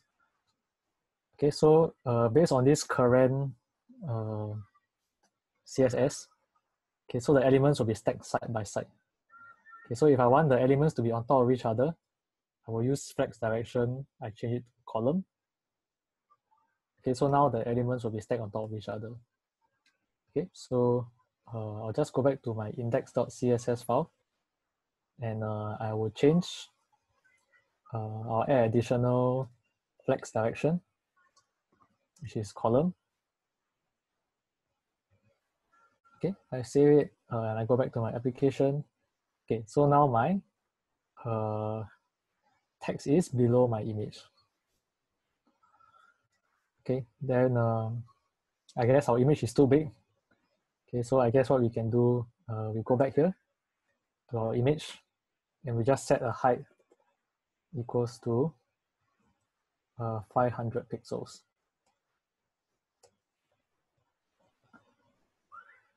Okay, so now uh, we go out the application. Okay, so uh, yeah, it's like a replica of the application that I have uh, online. Okay.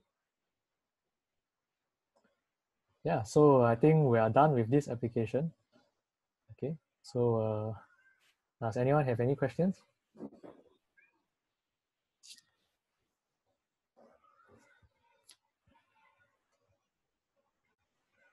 Okay, so uh, guess not. Okay, so um,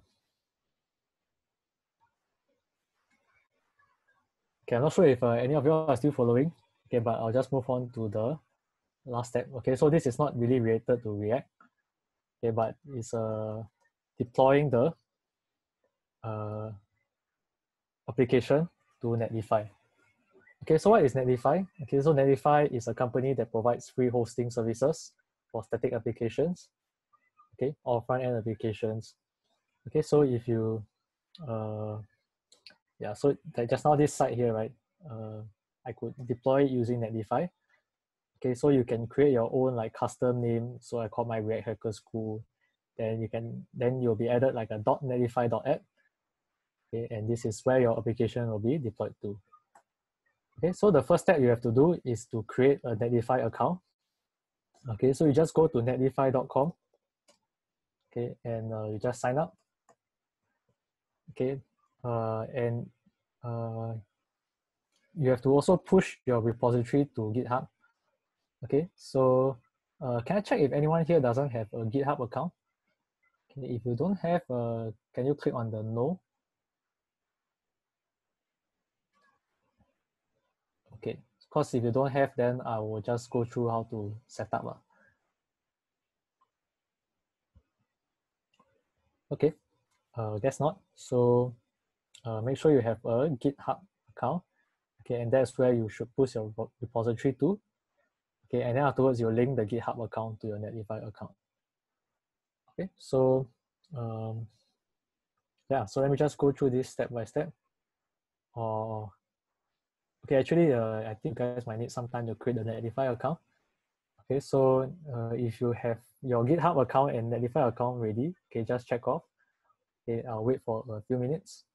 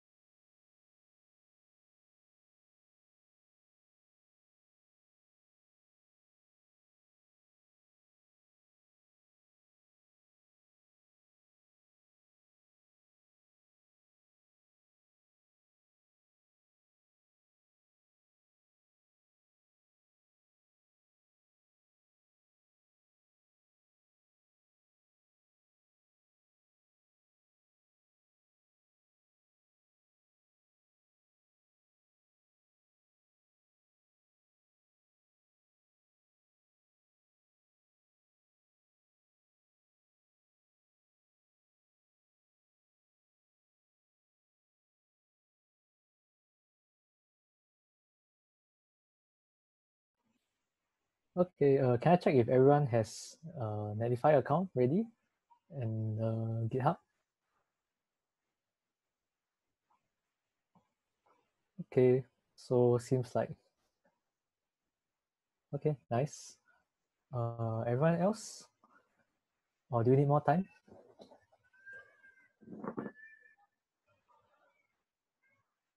Okay, so uh,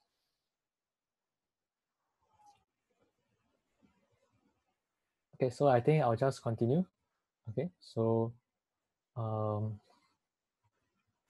we can first go to GitHub, okay, and create a new repository.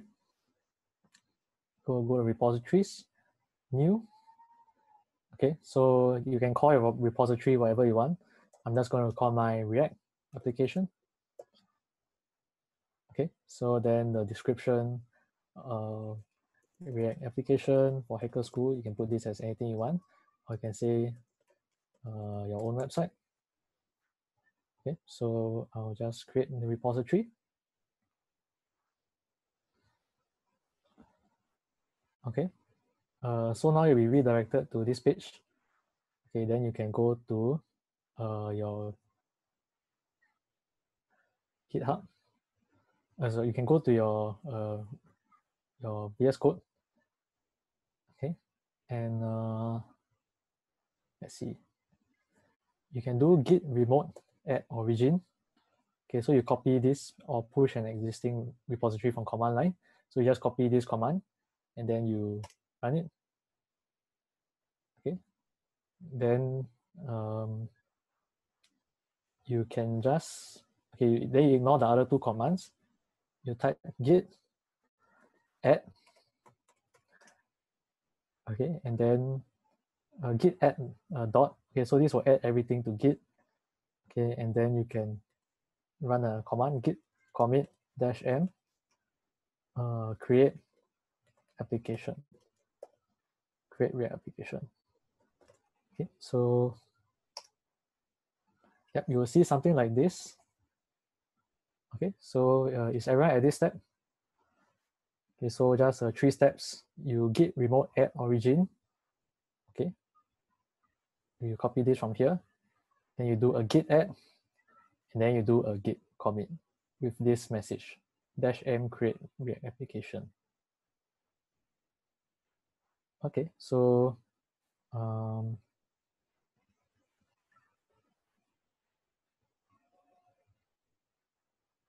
Okay, so after this, what you want to do is do a git push origin head. Okay. And this will push your repository online into GitHub. Okay, so now if I go back to my React application and refresh it, okay, all my files will be there. So my latest commit, create React application. Okay, so I'll be able to see it here. Okay, so at this point, I'm expecting some of y'all to have trouble. Okay, so uh, please uh, sound off if you all have any problems. Okay, anyone have any problems pushing it to GitHub? Or is everyone okay?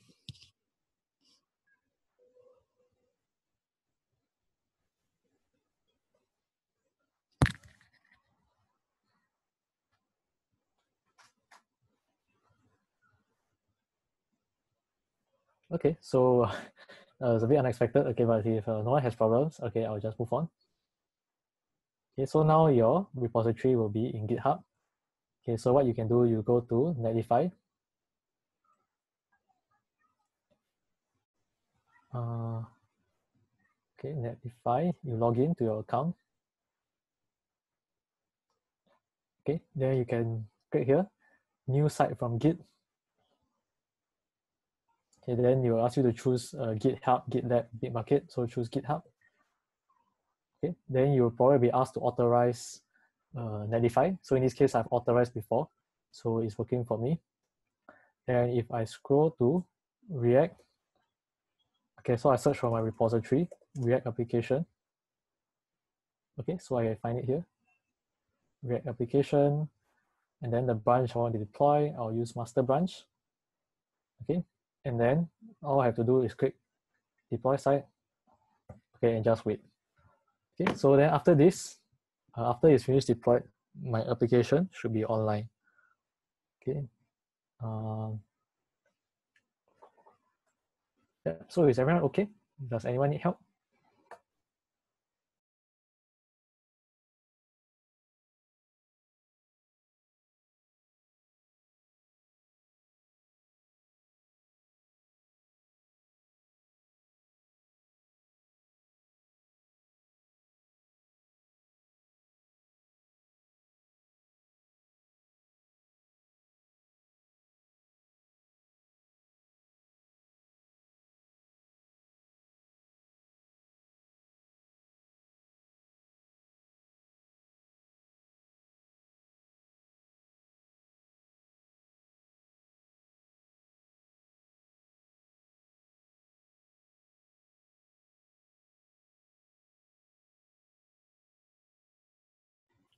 Okay, so I'll just wait a few minutes for this. Okay, so if you want to see what is the progress of the deployment, uh, you can just click on the, the deploy log. Okay, so you'll be able to see. Ah, okay, so now my site is live. Okay, so I just go back up and I go to uh, preview deploy. Okay, and now my React application is online. Okay, so about the URL, uh, right now it's a, a gibberish. Okay, it's uh, like randomly generated. Okay, so I want to change this to be my own site. Okay, so I'll go to uh, deploy settings, I think. Uh, okay, sorry, I'll go to site overview. I click on my site, uh, site settings and uh, I can click on change site name and I can change it to whatever I want. So I can do React application. Oh, okay. So this name is already taken. Uh, so I can do uh, Hacker School React application. Okay. So then now the website becomes Hacker School React application. So if I go to this website now, .netlify.app. Okay, then uh, is there. Yeah, so did uh, anyone manage to uh, deploy the application? Or is anyone having trouble?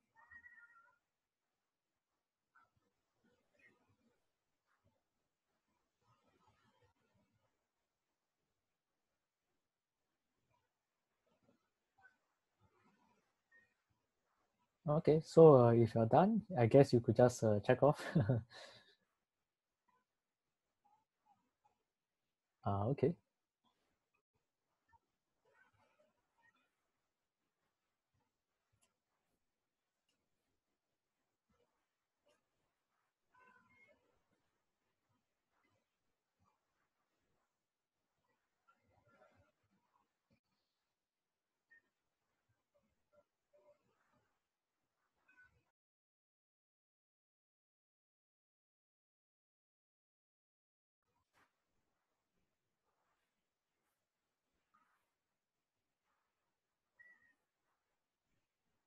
Hmm, okay, so I assume the rest of you have some difficulties.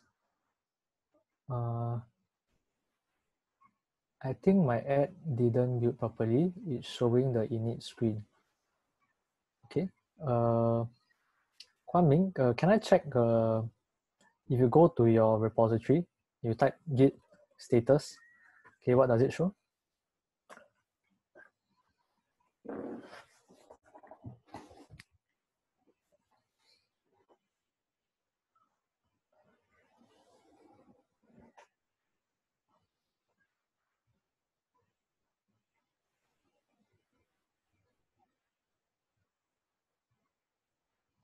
Oh, a lot of red stuff. Okay. Uh, so what you want to do is uh, run git add dot. Okay, git add dot. Okay, and after you run this, if you run git status, uh, do you see everything is green now?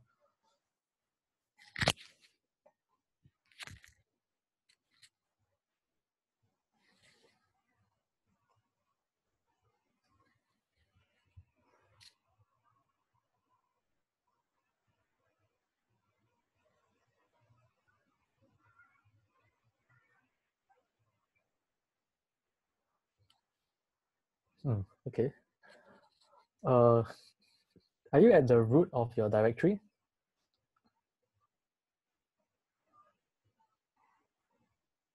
Yeah. Okay, so you have to be at the root of your directory for the command to work.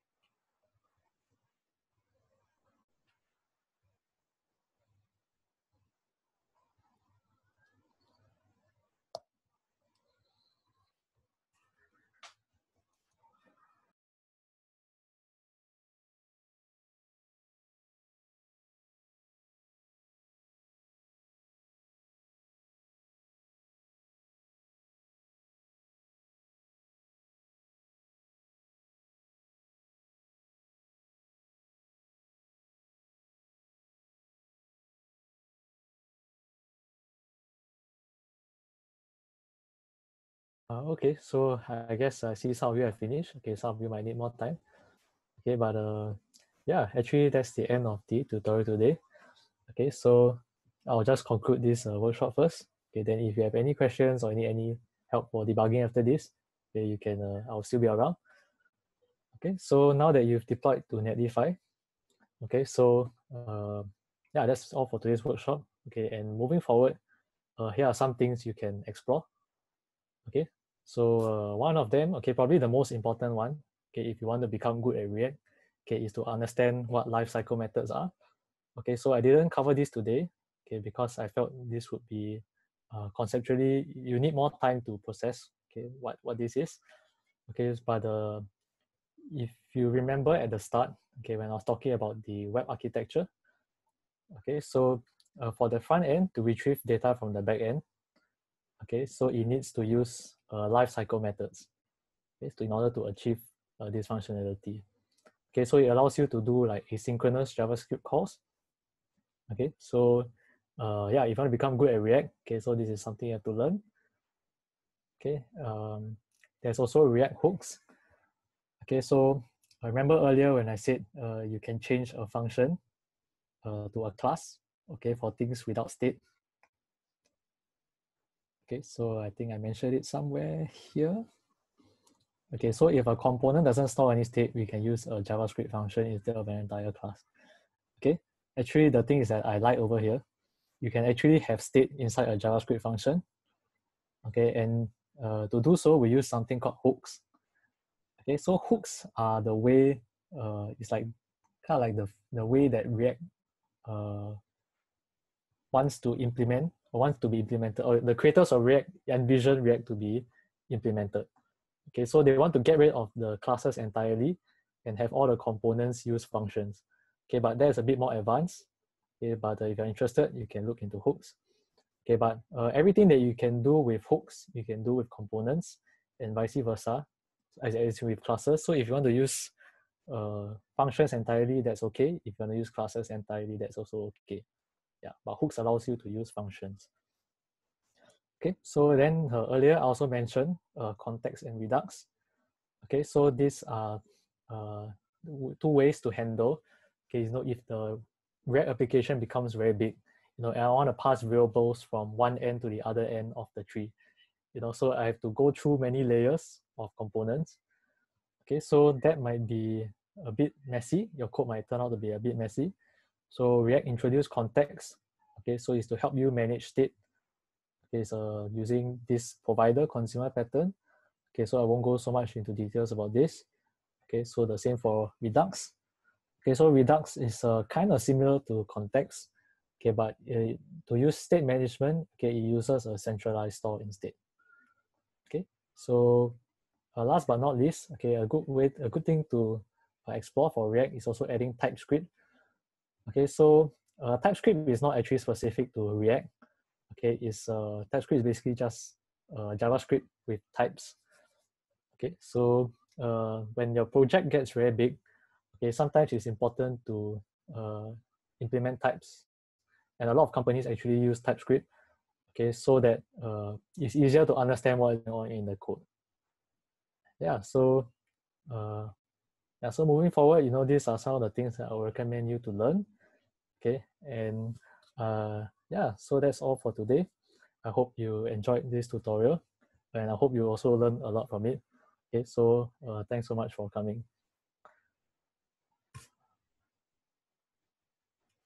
Okay, thank you.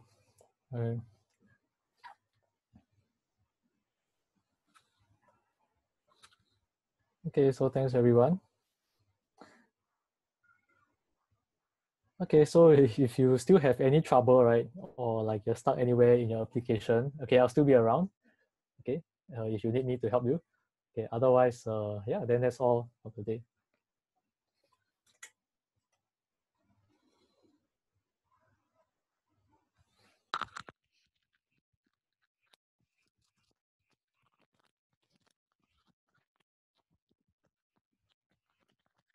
bar has an small margin around it.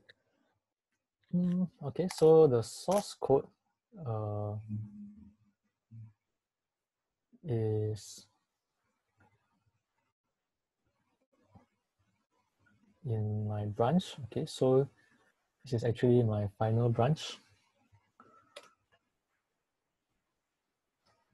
Okay, so if you go to this branch, you should be able to see uh, my source code.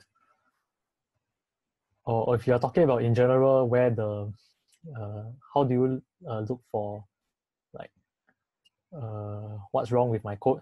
you can actually use the, you can inspect the element. Okay, so then you can uh, use this top left thing and just click on it. Yeah. Oh, okay.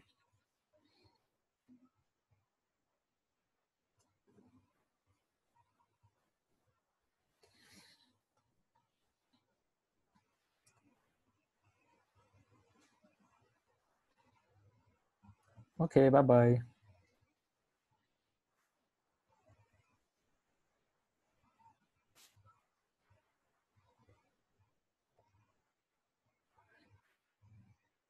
Okay, uh, any more questions?